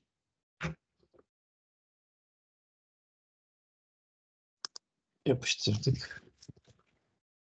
Sayı giriniz dedik. J'yi girdik. Ondan sonra güzel. Şurada bir do blo- bloğu oluşturuyoruz. Bunu 2'den kendisine kadar birer birer bölüyoruz. Girdiğimiz sayıyı. Demiş şey bunu 10.000 demişti. 10.000'e kadar bölmeye gerek yok. Ben 10, 10 gireceğim. 10 gireceğim. 10'a kadar bölsün en fazla. Yani 10.000'e kadar gitmesine gerek yok. Onun için başlangıç değerimiz 2. 1'e bölmemize gerek yok. Zaten 1'e bölünecek. Bir de var? Kendisi var. Hatta kendisine kadar gitmemize bile gerek yok. En fazla bölünse bölünse kendisine yarısına kadar. Dedik onu, onu da yapabiliriz. J bölü 2'ye kadar git diyebiliriz. Ama neyse gerek yok. Böyle diyelim. J'ye kadar gitsin diyelim. Ondan sonra geldik. Biz bu kullanıcının girdiği J sayısını buradaki önce ne yapayım? Tek tek ya. Bir- Bu asal testini bir şey yaptıralım. İlkokula giden bir çocuğa yaptıralım. Nasıl yaptırırız? İlkokula giden çarpma bölme yapabilen bir çocuğa herhangi bir sayının asal olup olmadığını anlatmak istiyoruz. Ne yapacağız biz? Merak etti ne bileyim işte 8 dedi asal mıdır dedi. Ne diyeceğiz bu çocuğa? Arkadaş al bu 8'i ne yap? 2'ye böl. Ondan sonra 2 ile çarp. Kendisine veriyorum vermiyorum. Ha verdi mi? Tamam o zaman. 2'yi 8'e böldük. 2'ye böldük. 8 ile çarptık 8'e. Bu ne- nedir? 8 eşittir. Bu bölünebiliyorsa o zaman 3'e bölmene gerek yok aslında. Olay bitmiştir. Asal değildir diye de bitir işi. Yok. 2'ye bölünmedi. Mesela kaç diyelim biz buna? Ee, kaç var? 5'e bölünecek olan mesela 20 25 diyelim. 25 girdik diyelim. 2'ye bölündü mü? Bölünmedi. Şimdi ne yapacağım ben bunu? 25'i 3'e böleceğim. Bölünmediyse. 3'e böleceğim. 3 ile çarpacağım. Bölündü mü? Bölünmedi. Geçtim. 25'i kaça böleceğim ben şimdi? 4'e böleceğim. 4 ile çarpacağım. Bölündü mü? Bölünmedi. Devam edeceğim. Bölünüp bölünmediğini devam ediyorum. Ediyorum, ediyorum. Ve kaça, kaça kadar geldim şimdi? Ne bileyim işte kaça geldik? 25'i 5'e böldük. 5 ile çarptık. Ha, şimdi artık bölündü. Bundan sonra devam etmeme gerek var mı? Bölünme gerçekleştiği anda 6'ya bölmeme gerek var mı? 25'i 6 ile böl 6 ile çarp dememe gerek var mı? Yok hocam. Yok burada bitirme olayı. Eğer bu bölünme gerçekleşirse hemen asal değildir diye yazın. Ne zaman asal, asaldır yazacağız? 25'e kadar böldük diyelim. Yani ne, nedir? 20, 23 diyelim hadi. 23'ü deneyeceğiz. 23 asal mıydı? Asaldı değil mi? 2'ye bölündü mü bölünmedi. 23 3'e bölündü mü bölünmedi. 23 4'e bölündü mü böl- bölünmedi. 5'e bölündü mü bölünmedi. 6'ya bölündü mü bölünmedi. Daha 7, 7'yi deneyelim. Çok uzağa gittik. Pardon. 7'yi deniyoruz. 7 bölü 2 çarpı 2 eşittir 7 mi? Değil. 7 bölü 3 çarpı 3 eşittir 7 mi? Değil. 7 bölü 4 çarpı 4 eşittir 7 mi? Değil. Tek tek hepsini deniyorum. 7 bölü 5 çarpı 5 eşittir 7 mi? Değil. Hep değil aldık. 7 bölü 6 çarpı 6 eşittir değil mi? Değil. En sonunda artık kendisinin kendisine kadar kendisine bölersem evet cevabı alacağım. 7 bölü 7 çarpı 7 eşittir 7 mi diye sorarsam evet cevabı alacağım. Ama evet cevabı aldığım zaman asal olmayacak. O halde kendisine kadar bölersem olmaz. Nereye kadar gideceğim ben bu bölme işleminde? En fazla kendisinin bir eksiğine kadar gidiyorum. Bölüyorum. Bunların hiçbirisi de bölünme gerçekleşmezse bu asaldır. Eğer herhangi bir yerde bölünme gerçekleşirse burası hep negatifse asaldır. Herhangi bir tanesinde bölünme gerçekleştiği anda bu asal değildir. diye yazdım. Hamlede yeterlidir. Yapayım mı? Bir şans daha vereyim mi?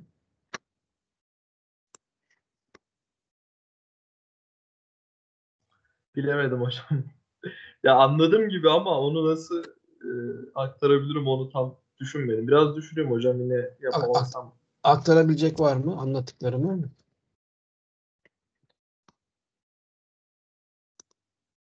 Yazayım mı ben? Hocam bir, bir dakika verin isterseniz. Vereyim hadi bir dakika. Çünkü sizin yazmanız daha önemli. Yanlış ya da doğru.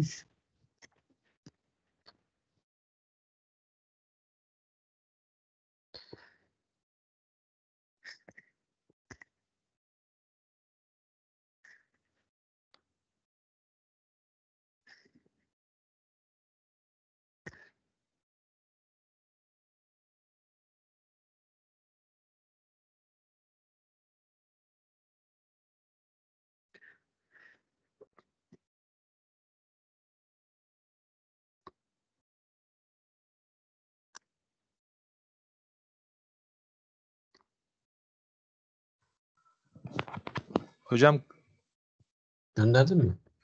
gönderdim. Yani şöyle K'yı M eksi 1'e kadar saydırdım. Aynen öyle. Nerede programın? Yazdım hocam şeyde. Tamam alacağım. Yok hocam yine olmaz ki. Kim, Nevzat mı senin programın? Nevzat hocam. Şu şeyden girdaptan kurtulamadın ama. Ya Evet aynısının üzerine oldu. ekledim ama Şuradaki şurada Evet, girdap var. Girdaptan kurtulamadın. ha, direkt Neyse, o- oraya neyse. ekledim. Düzelteyim hocam. Tamam Güzel. girdabı alayım ben düzelteyim hadi.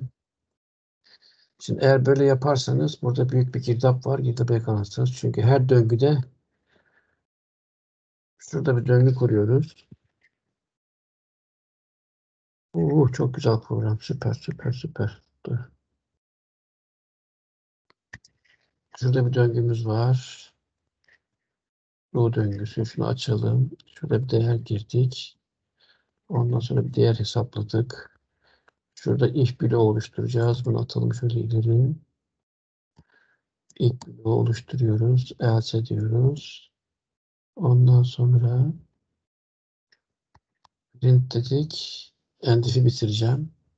Bitiremedim. End do'yu bitireceğim. Bitiremedim. Evet şu anda gördüğümüz gibi arkadaşlar ne görüyoruz şu anda? Şuradaki do bloğu var. Başlamış burada bitmiş. Siyah bölgede başlamış. Yani taralı bölge tamamen do bloğun olduğu bölgeyi gösteriyor. Şurada da if bloğu var. Onun olduğu bölgeyi gösteriyor. Ne görüyorum burada ben? İki İç içe girmiş. iç, iç, iç- içe girmiş değil, çakışmış. Doğu bloklarım ne yapmış? Benim çakışmış, kesişmiş. Birbirlerini şey yapmışlar. Sınır taşıma olmuş. Birisi burada başlamış, burada bitmiş. Doğu burada başlamış, burada bitmiş. If burada baş, başlamış, burada bitmiş. Bu olmaz.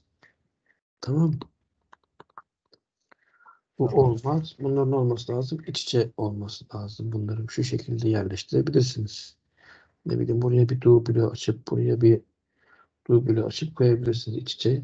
Birbirlerini kestirmeyeceksiniz. Aman ne olur kestirme işi olmayacak. Evet o halde ne yapmam lazım? Benim şuradaki end do ile end if'imin yer değiştirmesi lazım. O zaman olabilir belki.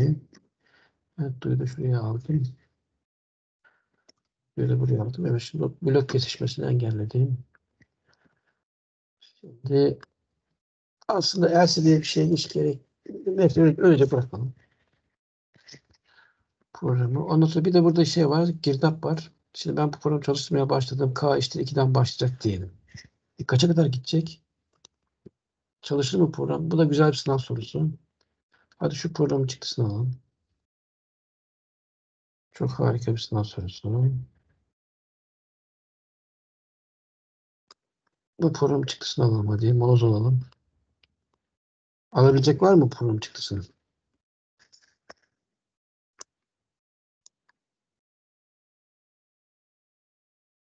Program çıktısı ben programı ne dersem çıktı nasıl bir şey olacak? Alabilecek var mı? Adım adım gitmek lazım hocam. Git, gitmek, gidersek nereye gideceğiz adım adım? Çıktı nasıl bir şey olacak? Hadi gidin bakayım. Şu programın çıktısını. Hocam asaldır, asaldır, asaldır, asal değildir gibi böyle bir sürü bir şey yaz, yazacak. Çok güzel sınav sorusu. Hemen ben yazdım bu soruyu. Şuraya yazdım. Asaldır, Hocam asal- değeri girilmediği için bence hiçbir şey Evet. yazmaz. Evet güzel. Bomboş ekran olacak. Bu sorunun cevabı bomboş ekran olacak. Tamam mı? Yani hemen bunu ilk birinci satıra girdiğiniz zaman hemen burada ne yapmanız lazım?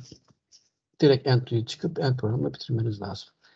Eğer burada yorum yapar içine bir girerseniz bir türlü çıkamazsınız. Yıllar önce yapmıştım. Bugün 23 Nisan bugün. Böyle bir soru sormuştum. Ondan sonra buraya da yazdırdım. Asaldır diye yazdırmadım da bugün 23 Nisan'dır diye yazdırdım. Aşağısına da benim bayramım diye yazdırdım. Adamları buraya bir soktum artık. Bir sayfa iki sayfa. Bugün 23 Nisan benim bayramım dedi. Yazdılar da yazdılar. Yazdılar da yazdılar. Evet yapalım bunun çıktısını alalım. Güzel bir soru soru. Bakmıyoruz. Yorum yapmıyoruz. Sadece ve sadece molozluk yapıyoruz. K diye bir zarfım var. Sıfır yazdım. M diye bir zarfım var. Sıfır yazdım. Başka zarf kullanmış mıyım? Kullanmışım. L diye bir zarfım var. Sıfır yazdım. Hepsi integer. 0.0 yazmıyorum. Sıfır yazıyorum onun için. Evet geldik. Program asal sayı dedik. Şu satıra geldik. Ne yapacak? K'yı 2 alacak. K'yı hemen 2 aldık. K'ya initial değerini verdik. Ondan sonra en son değer nereye gidecekmişiz biz? M'den 1 eksine gidecekmişiz. Bizim son değerimiz buradaki nedir?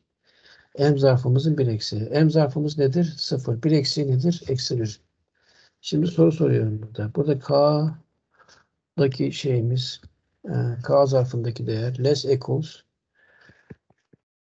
şu M'in 1 eksiğinden bir, bir eksiğinden küçük mü? Less equals diye soru soruyoruz. Eğer less equals'sa içine gireceğiz. Değilse girmeyeceğiz. Bundan küçük mü? K, M'in M, M eksi 1 neydi? Eksi, şu anda M sıfır olduğu için eksi 1'di. Burası eksi 1'di. K'nın değerinde 2 idi. K eksi 1'den küçük eşit midir? Değildir. Değildir. Değildir. O zaman ne olacağız? Negatif olduğu için, false olduğu için buraya hiç girmeyeceğiz. O buraya geleceğiz. Ve buradan buraya çıkacağız. Benim ekranım bomboş bir ekran.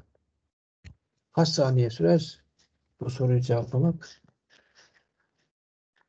Moloz olursanız bir saniye sürer. Ama azıcık yorum yaparsanız, zerre misali yorum yaparsanız içine bir girdiniz ya artık Allah kurtarsın. Döner döner dönersiniz, döner dönersiniz.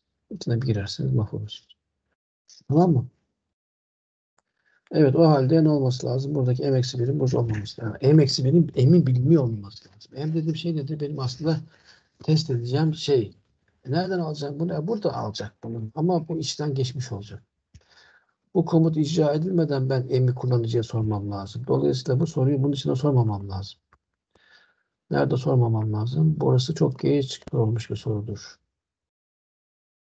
Kafayı patlattıktan sonra dikkat et diye bağırmaya benzer. Ya adam kafayı duvara çarpmış, bağırmış. Yapacaksan önce çarpmadan önce bağır.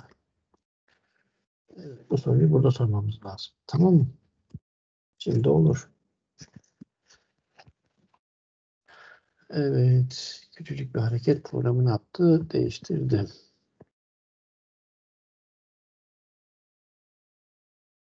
Evet geldik. Bir sayı giriniz dedik ekranımızda. Şurada K'mız var, M'imiz var, L'miz var diyelim. Şimdi olay değişti. 0 0 0 yazdım. Ondan sonra ekranım var benim. Bir sayı giriniz, sayı giriniz dedi. Ondan sonra girdim. Kaç gireyim ben? İşte 4 gireyim diyelim. Evet, 4 girmeyeyim. Ne gireyim? Biraz bölün, ben 15 gireyim. Gerçi 3'e 5, 5'e 3'e bölündü. 2'ye 3'e 4'e 5'e bölünmeyen bir sayı kaç? 25 mi? 25 girdim. 25 girdim diyelim. M eşittir 25 girdim ekranda. O nereye gitti? M zarfına gitti. Geldik. Durağımız nereden nereye? 2'den hemen buraya yazalım durağımız üzeri. Kaça kadar devam edecek bölme, bölme işlemi? 24'e kadar devam edecek. Olay 24'te bitecek. Şu anda. K'nın ilk değeri 2'dir. Aldık birer birer artıyormuşuz. Geldik buraya. L eşittir M divided by K times K dedik. Bu da equals nedir? M'imiz neydi bizim? 25 bölü 2 ne yapar? 12 çarpı 2 eşittir nedir? 24'tür. If M equals L mi? Mesela bu benim sınavda algoritmayı bozmayacak yapacağım sintaks hatalarından birisi olabilir.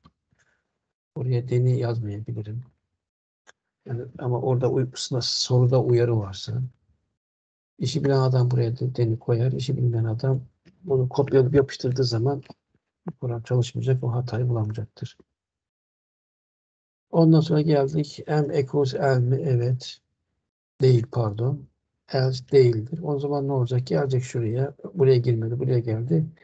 Ekranda ne çıkacak? Asal sayıdır yazacak. İkiye bölünmedi çünkü. İkiye bölünmedi. Hemen dolayısıyla burada asal sayıdır yazacak. Emin miyiz asal sayı olduğuna? Şu an hala değil. Sadece ikiye bölünmedi. Sadece ikiye bölünmemesi onun asal sayı olma, olduğunu olduğunu gerek sağlamaz. Yeterli koşul değildir.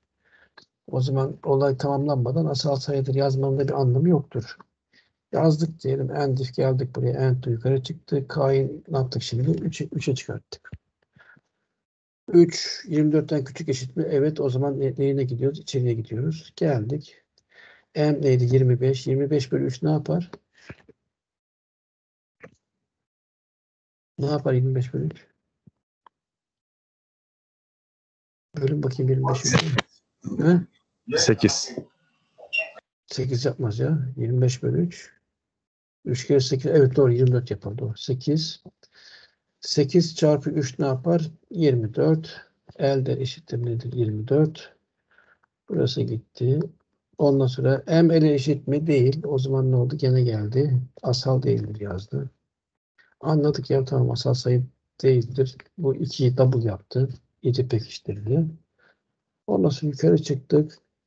K oldu şu anda? 3'tü. 4 oldu. Ondan sonra geldik buraya. Less equals 24 mü? Yes. It is less than. Less equals 24. Dedik. Geldik şuraya. M'imiz neydi? 25 bölü 4. 6 mı yapıyor? 6 çarpı 4 o da eşittir 24 yapıyor herhalde gene. El gene 24. Sildik yenisini yazdık. Ondan sonra M ele eşit mi? Değil. O zaman gene, gene yazdık. Asal sayıdır yazdık.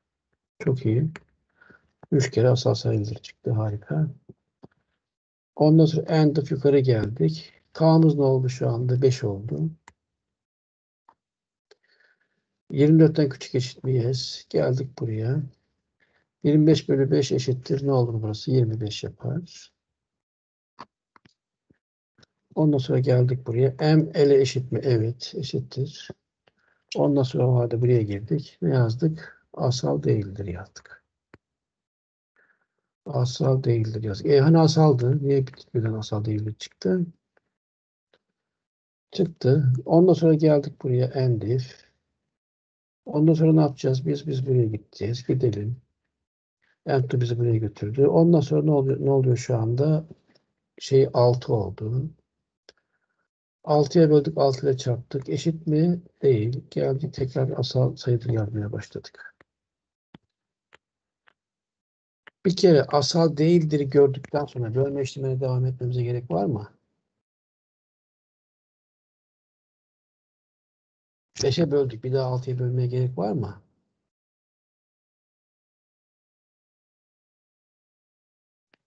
Duyuyorsunuz değil mi beni? Yok hocam bir durak koymamız lazım ama Dur, dur, bırak değil de ne yapmamız lazım programa? Eğer asal değildir yazıyorsak ne yapmamız lazım? Asal değildir dedikten sonra artık do'nun dışına çıkabiliriz. Şurada do bloğumuz vardı. O do'nun dışına çıkmamız daha doğru olur. O halde asal değildir yazdıktan sonra do'ya devam etmeme gerek yok. Arkadaş sen do'yu terk et git. Üstüm ben sana. Diyebiliriz. Onun için de her ne kadar kullanmayın desem de şu anda şurada bir komutu 55 dedim. Asal değil, değildir dedikten sonra artık bu doğunun dışına çıkmak istiyorum.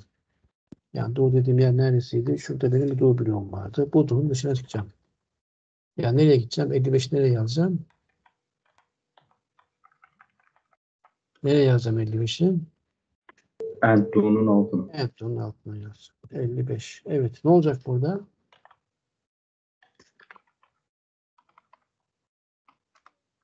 Hatta şöyle yapabilirim. Eğer bölme gerçekleşirse bunu buradan alırım. Bu da olabilir ama bu da olabilir. Fark etmez. Ee, Ben hiç bozmayalım programı. Buraya continue yazabilirim. Ya da devam ettirelim. Hiç boş satır bırakabilirim. Ya da hadi bunu şöyle alalım. Bunu asal değil de buraya yazmayalım. Eğer bölme gerçekleştiyse şunu şuradan alıp şuraya gelip eee, şuraya gelip bu direkt buraya yazdırabilirim. Bölme gerçekleştiyse bu sayı asal değildir de yazarım. Hangi sayı asal değildir? Hatta onu da yazalım buraya. Sayımız neydi bizim? Hangi sayı test ediyorduk biz? M'i mi test ediyorduk? M virgül dedik. Asal değildir diye yazabiliriz. O zaman daha iyi olur. Peki bunu yazmama gerek var mı benim? Asal sayıdır, asal sayıdır. 2'ye böldüm bölünmedi asal sayıdır. 3'e böldüm bölünmedi asal sayıdır diye yazmama gerek var mı benim? Daha 4'e 5'e 6'ya 7'ye bölünmeyeceğini nereden biliyorum bilmiyorum. O zaman şunu da ikide bir asal sayıdır dememem lazım. Asal sayı olduğunu ne zaman garantileyeceğim ben?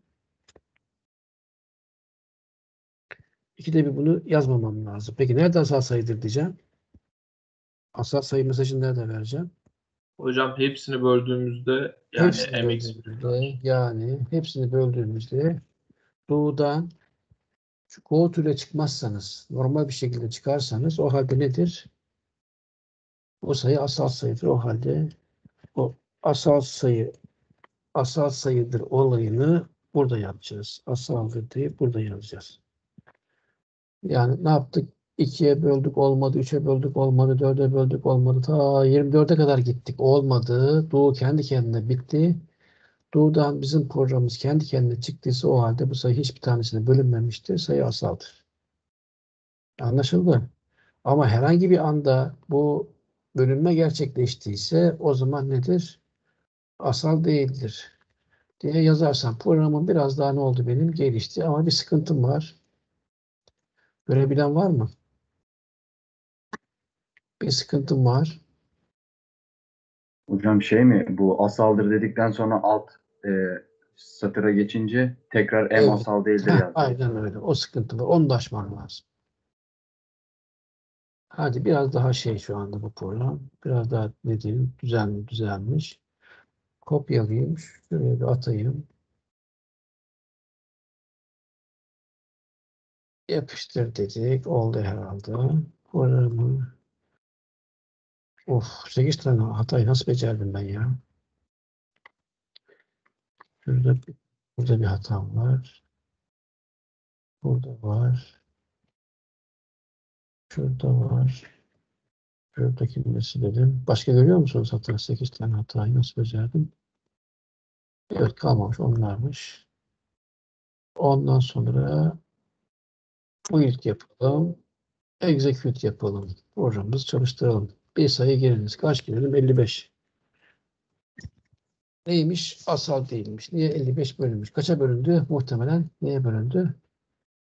11'e mi bölündü? 5'e bölündü değil mi? 5'e bölündü ve asal değildir dedi. Geldi geldi geldi. Aa burada bir bölme iş- işlemi gerçekleşti. Ondan sonra bölme işlemi gerçekleştiği için direkt do'yu terk ettik. Geldik buraya asal değildir diye mesaj verdik. Hatta böldüğümüz sayıyı da şey yapalım. Kaça bölündüysek onu da gösterelim. Merak etmeyin. kaça bölündü diyelim. Hani ilk kaça bölündü? Bir sürü şey bölünebilir de. İlk nerede çıktı onu görmek istersem ne, ne yapmam gerekiyor? Asal değildir. İlk bölünen sayı da kaçtır? Şuradaki doğu sayıcı bize onu ilk bölen sayı, sayıdır. Şeklinde söyleyebiliriz. Evet şunu açtım. İlk bölen sayıyı da yapmış olduk? Biz bu şekilde yazmış olduk. Çok da önemli değil. Neyse yazdık. Başka bir sayı söyleyeyim bana. Mesela 51 asal mıdır? Herhalde üretilebiliyor. 51 dedim mesela. Evet neymiş? Değildir hocam. O da değilmiş. Kaça bölünmüş? 3'e bölünmüş. Aa doğru. İlk 3'e bölünmüş. Daha sonrakiler de bölünebilir. Asal değildir. Şöyle bir asal sayı söyleyeyim bana. Güzel çalıştı program burada. Hakikaten güzel çalıştı. 5 hocam. 5 diyelim hadi. 5 diyelim. Asal mı değil mi? Aha kafamız karıştı. Aynı dediğimiz gibi. 2'ye bölünmedi, 3'e bölünmedi, 4'e bölünmedi, 5'e bölünmedi. Ondan sonra taşma oldu. Doğu sayacı taştı. Şöyle açalım. Bölümü ayıralım. Bloğundaki yapılan işlemleri birbirinden ayıralım, karıştırmayalım. İlk bloğu burada olsun. Ondan sonra hiç, hiç buraya düşmedik biz. Dolayısıyla doğudan kendi kendine, kendi kendimize çıktık. Normal çıkış yaptık doğudan. Blok, bloktan terk etmedik. Şuradan terk etmedik. Dolayısıyla asaldır yazdı. Bunun peşine de ama bloğu terk ettiğimiz zaman yazdığımız yazıyı yazdı. Buradaki kar, kargaşayı gidermenin en kolay yolu demek arkadaşın yaptığını yapabiliriz. O zaman da şuradaki asal sayısını şuradan alıp şuradaki mesajı buraya yazsaydık olurdu herhalde bu. Demin yaptığı gibi. Böyle yazıp buraya da hiçbir şey yazmazsak, continue yazarsak yazarsanız bu program burada ne yapar? Devam eder. Bir sıkıntı oluşturmaz. Bölme gerçekleşti. Ondan sonra dedik ki şu sayı asal değildir. Şu sayıya bölündü. Ondan sonra doğuyu terk ettik. Ama şunu yazmadan terk ettik gördüğünüz gibi. Şu satırı da atladık. Direkt buraya geldik. End program dedik. Programımızı bitirdik. Ve bu bizim bu işimizi yaptı.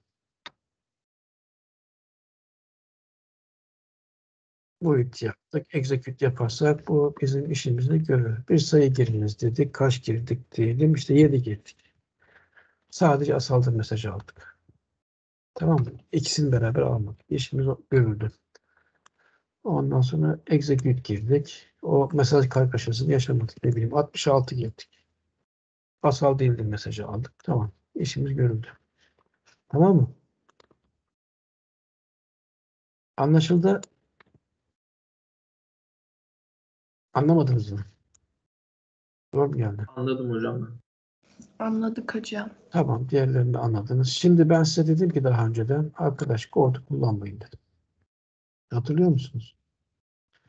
Goat kullandığınız zaman bunu bir alışkanlık haline getirirseniz başınız beladan kurtulmaz. Yaptığınız programlar büyüdükçe karmaşıklaşır, büyüdükçe karmaşıklaşır. Eğer Goat kullanmazsanız yaptığınız program modüler hale gelir. Yani en baştan bir başta program aşağı doğru akar gider. Bir aşağı yukarı, bir sağa, bir sola bir, şeye gitmez. Böyle seri imalat olur. Ne bileyim araba gibi bir banttan öbür banttan bir banttan siz demiri sokuyorsunuz. Öbür banttan araba gibi alıyorsunuz. Ama tamir atölyesi gibi olur. Yani bir hani seri üretim atölyesinde öyledir. Modüler bir yapı vardır. Ama bir tamir atölyesine gittiğiniz zaman öyle bir şey yoktur. Araba bir, bir masaya gelen bir parçası o oraya gider, o oraya gider. İçeride acayip bir kargaşa olur. Yani Go-to kelimesi sizin programlarınızı tamirci atölyesine döndürür. Ama Go-to'suz bir program kullan yaparsanız bir fabrikadaki işte seri imalat gibi gerçekleşen bir şeye benzersiniz. Bir yerden girer, öbür, öbür taraftan çıkarsınız. O halde ne yapacağız? Go-to'yu gene kullanmayacağız. Buradaki Go-to'nun amacı ne? Bu Go-to'yu biz burada niçin kullandık? Bu görevi ne? Ben Do'nun dışına çıkmak için. En onun dışına çık. Sadece ve sadece amacımız nedir? İçinde bulunduğumuz doğuyu terk etmektir. İçimizde bir sürü, iç, bir sürü doğunun içinde bulabiliriz. Bul, bul- bulunabiliriz. Evet. Hangi doğunun içerisindeysem sadece bunun dışına çık git. En doğu, doğu satırını bul. Onun altına git. En doğu, içinde bulunduğun doğunun en doğusunu bul. Onun hemen altından yoluna devam et gibi upuzun cümle kurmuyoruz. Bu kurduğumuz cümlenin hepsi paketlenmiş. Tabi bu cümle kurulmuş. Bunun hepsi paketlenmiş. Bize tek bir komut haline getirilmiş. Ne denmiş?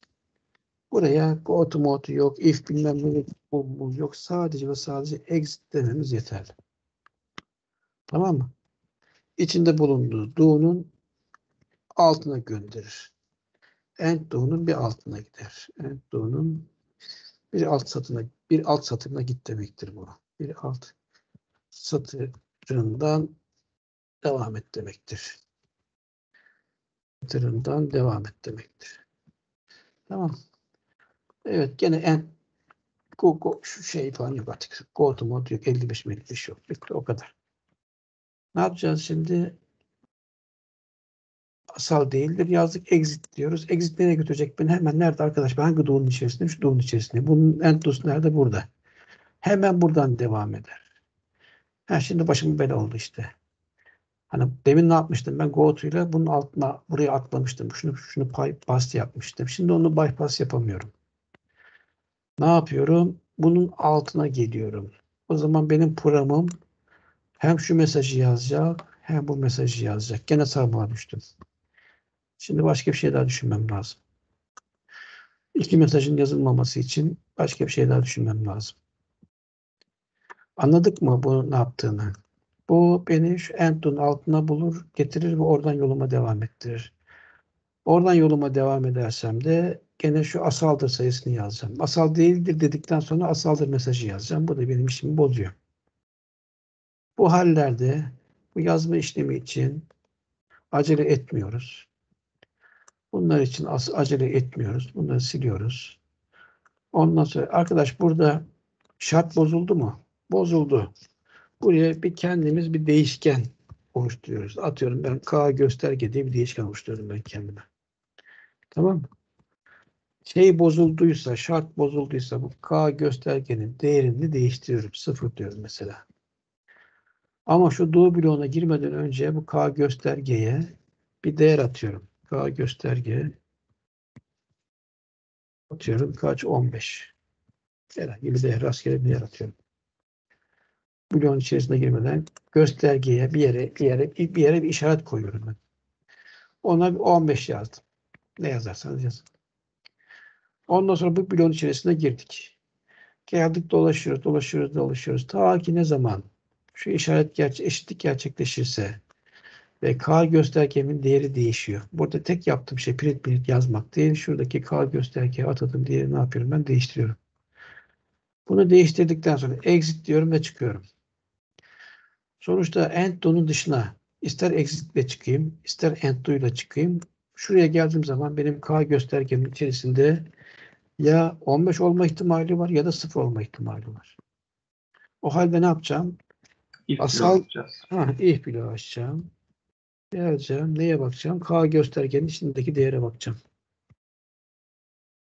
K göstergenin içindeki değere bakacağım. Eğer bunun içindeki değer eşitse neyse işte 15 ise benim ilk atadığım başlangıçta atadığım değere eşitse o halde benim programım buraya hiç uğramamıştır. Değil mi?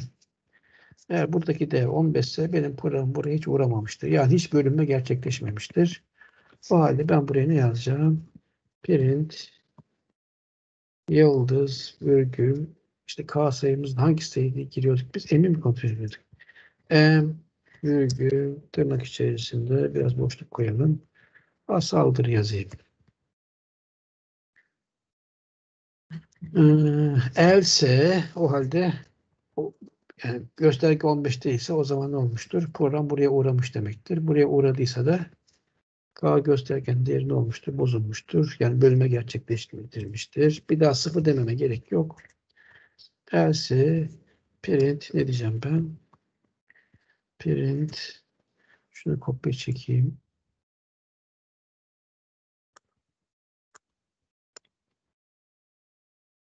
Ondan sonra M sayısı asal değildir yazalım.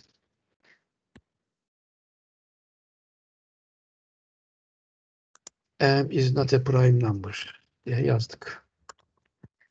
Bir tuhaf oldu. Değildir dedik. Ve bir mesaj verdik. Olduk biz burada enter yaptık. Burada burada kapatmış olduk. Peş peşe iki tane blok gelmiştir. Anlaşıldı mı? Evet hocam. Bu gösterge dediğimiz şey pointer ne bileyim işte diyebilirsiniz. Bu gösterge dediğimiz şey bizim için güzel bir şeydir. Ee, ne diyelim algoritmadır. Ben bir if bloğu içerisinde bir yerde bir sürü yere uğrayabilirim. Hani daha önce harf notu vermiştik. Oradaki harf notu da mesela dersin ilk başında harf notu dediğim şeyde harf notunun B, A, A, A, C, C olması da o if bloğu içerisindeki benim nereye gittiğimi gösterir. Ne bileyim hangi nerede olay gerçekleştiğini gösterir. Buraya bir sürü değer atayabilir. Bir sürü farklı yola gidebilir. Ona göre benim programım nereden geçti, nereden geçmedi, her geçtiğim yerde, her bölgede bir gösterge değer atayarak programımın nerelerden geçtiğini takip edebilirim. Evet bu bizim için ne- nedir işte asal sayıları, prime number'ları belirleyen veya bir sayının prime number testini yapan bir neyimizdir? Programımızdır. Yaptığımız program. Anlaşıldı herhalde. Ne yapıyoruz?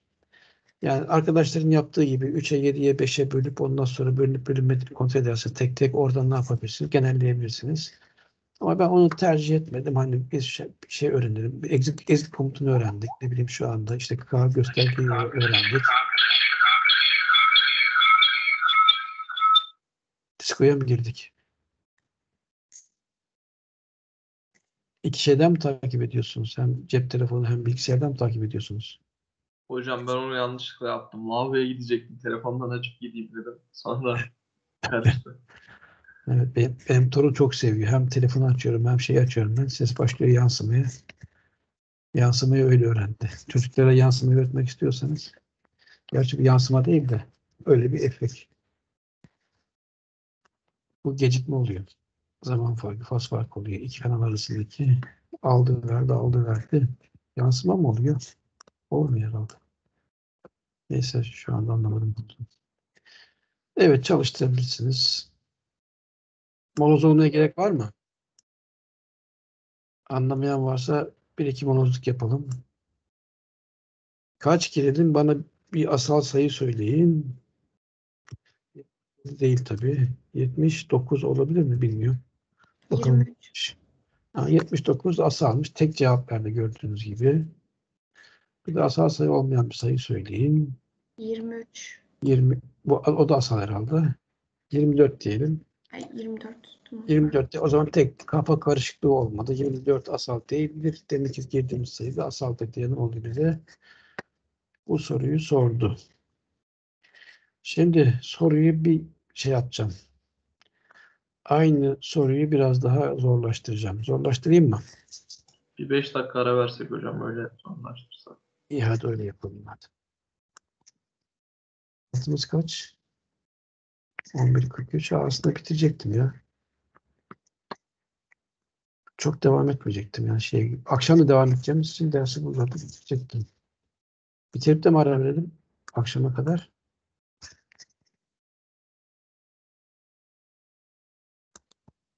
Evet, benim şöyle bir bloğum oluşturduğum iki tane. Bir do bloğum oluştu. Do bloğumun içerisinde bir tane if bloğum var. Alt.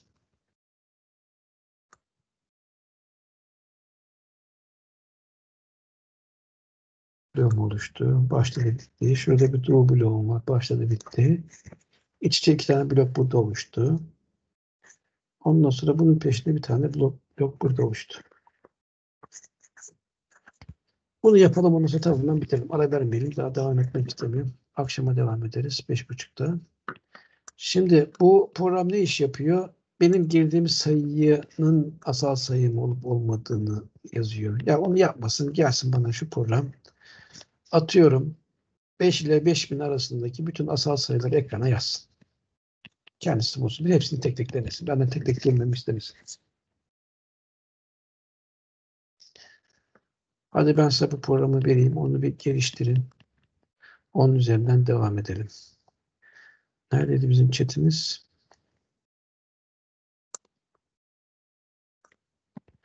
Bu programı ben size chatten yazayım. Bu programı alın aynen onun üzerinde geliştirin. Tamam mı? Ya da akşama mı bırakalım? Çok yorulduysanız akşama bırakalım. Akşama bırakalım hocam. Tamam o zaman sorumuz bu. Siz bunu ne yapacaksınız şimdi? Geliştireceksiniz. Bu geliştirdiğiniz programla ben sizin programınızı çalıştırdığım zaman hatta şey yapın. Başlangıç değerini, bitiş değerini de kullanıcı girsin. İşte atıyorum 500 ile 5 milyon arasındaki asal sayıları bana ne yapsın? Yazsın. Ekran tek tek yazsın. Yazsın bunları. Tamam. Okey. Hadi akşam 5.30'da görüşmek üzere. İyi günler hocam. Derste gecikme olursa bekleyin gene yani derse geleceğim. Bir işim var. Eve geç kalabilirim. Ama muhtemelen zamanında yetişmeye çalışacağım. Zaten gideceğimiz yer yok. Sokağa çıkma yasağı var herhalde. Hadi iyi günler. Görüşmek üzere. İyi günler hocam.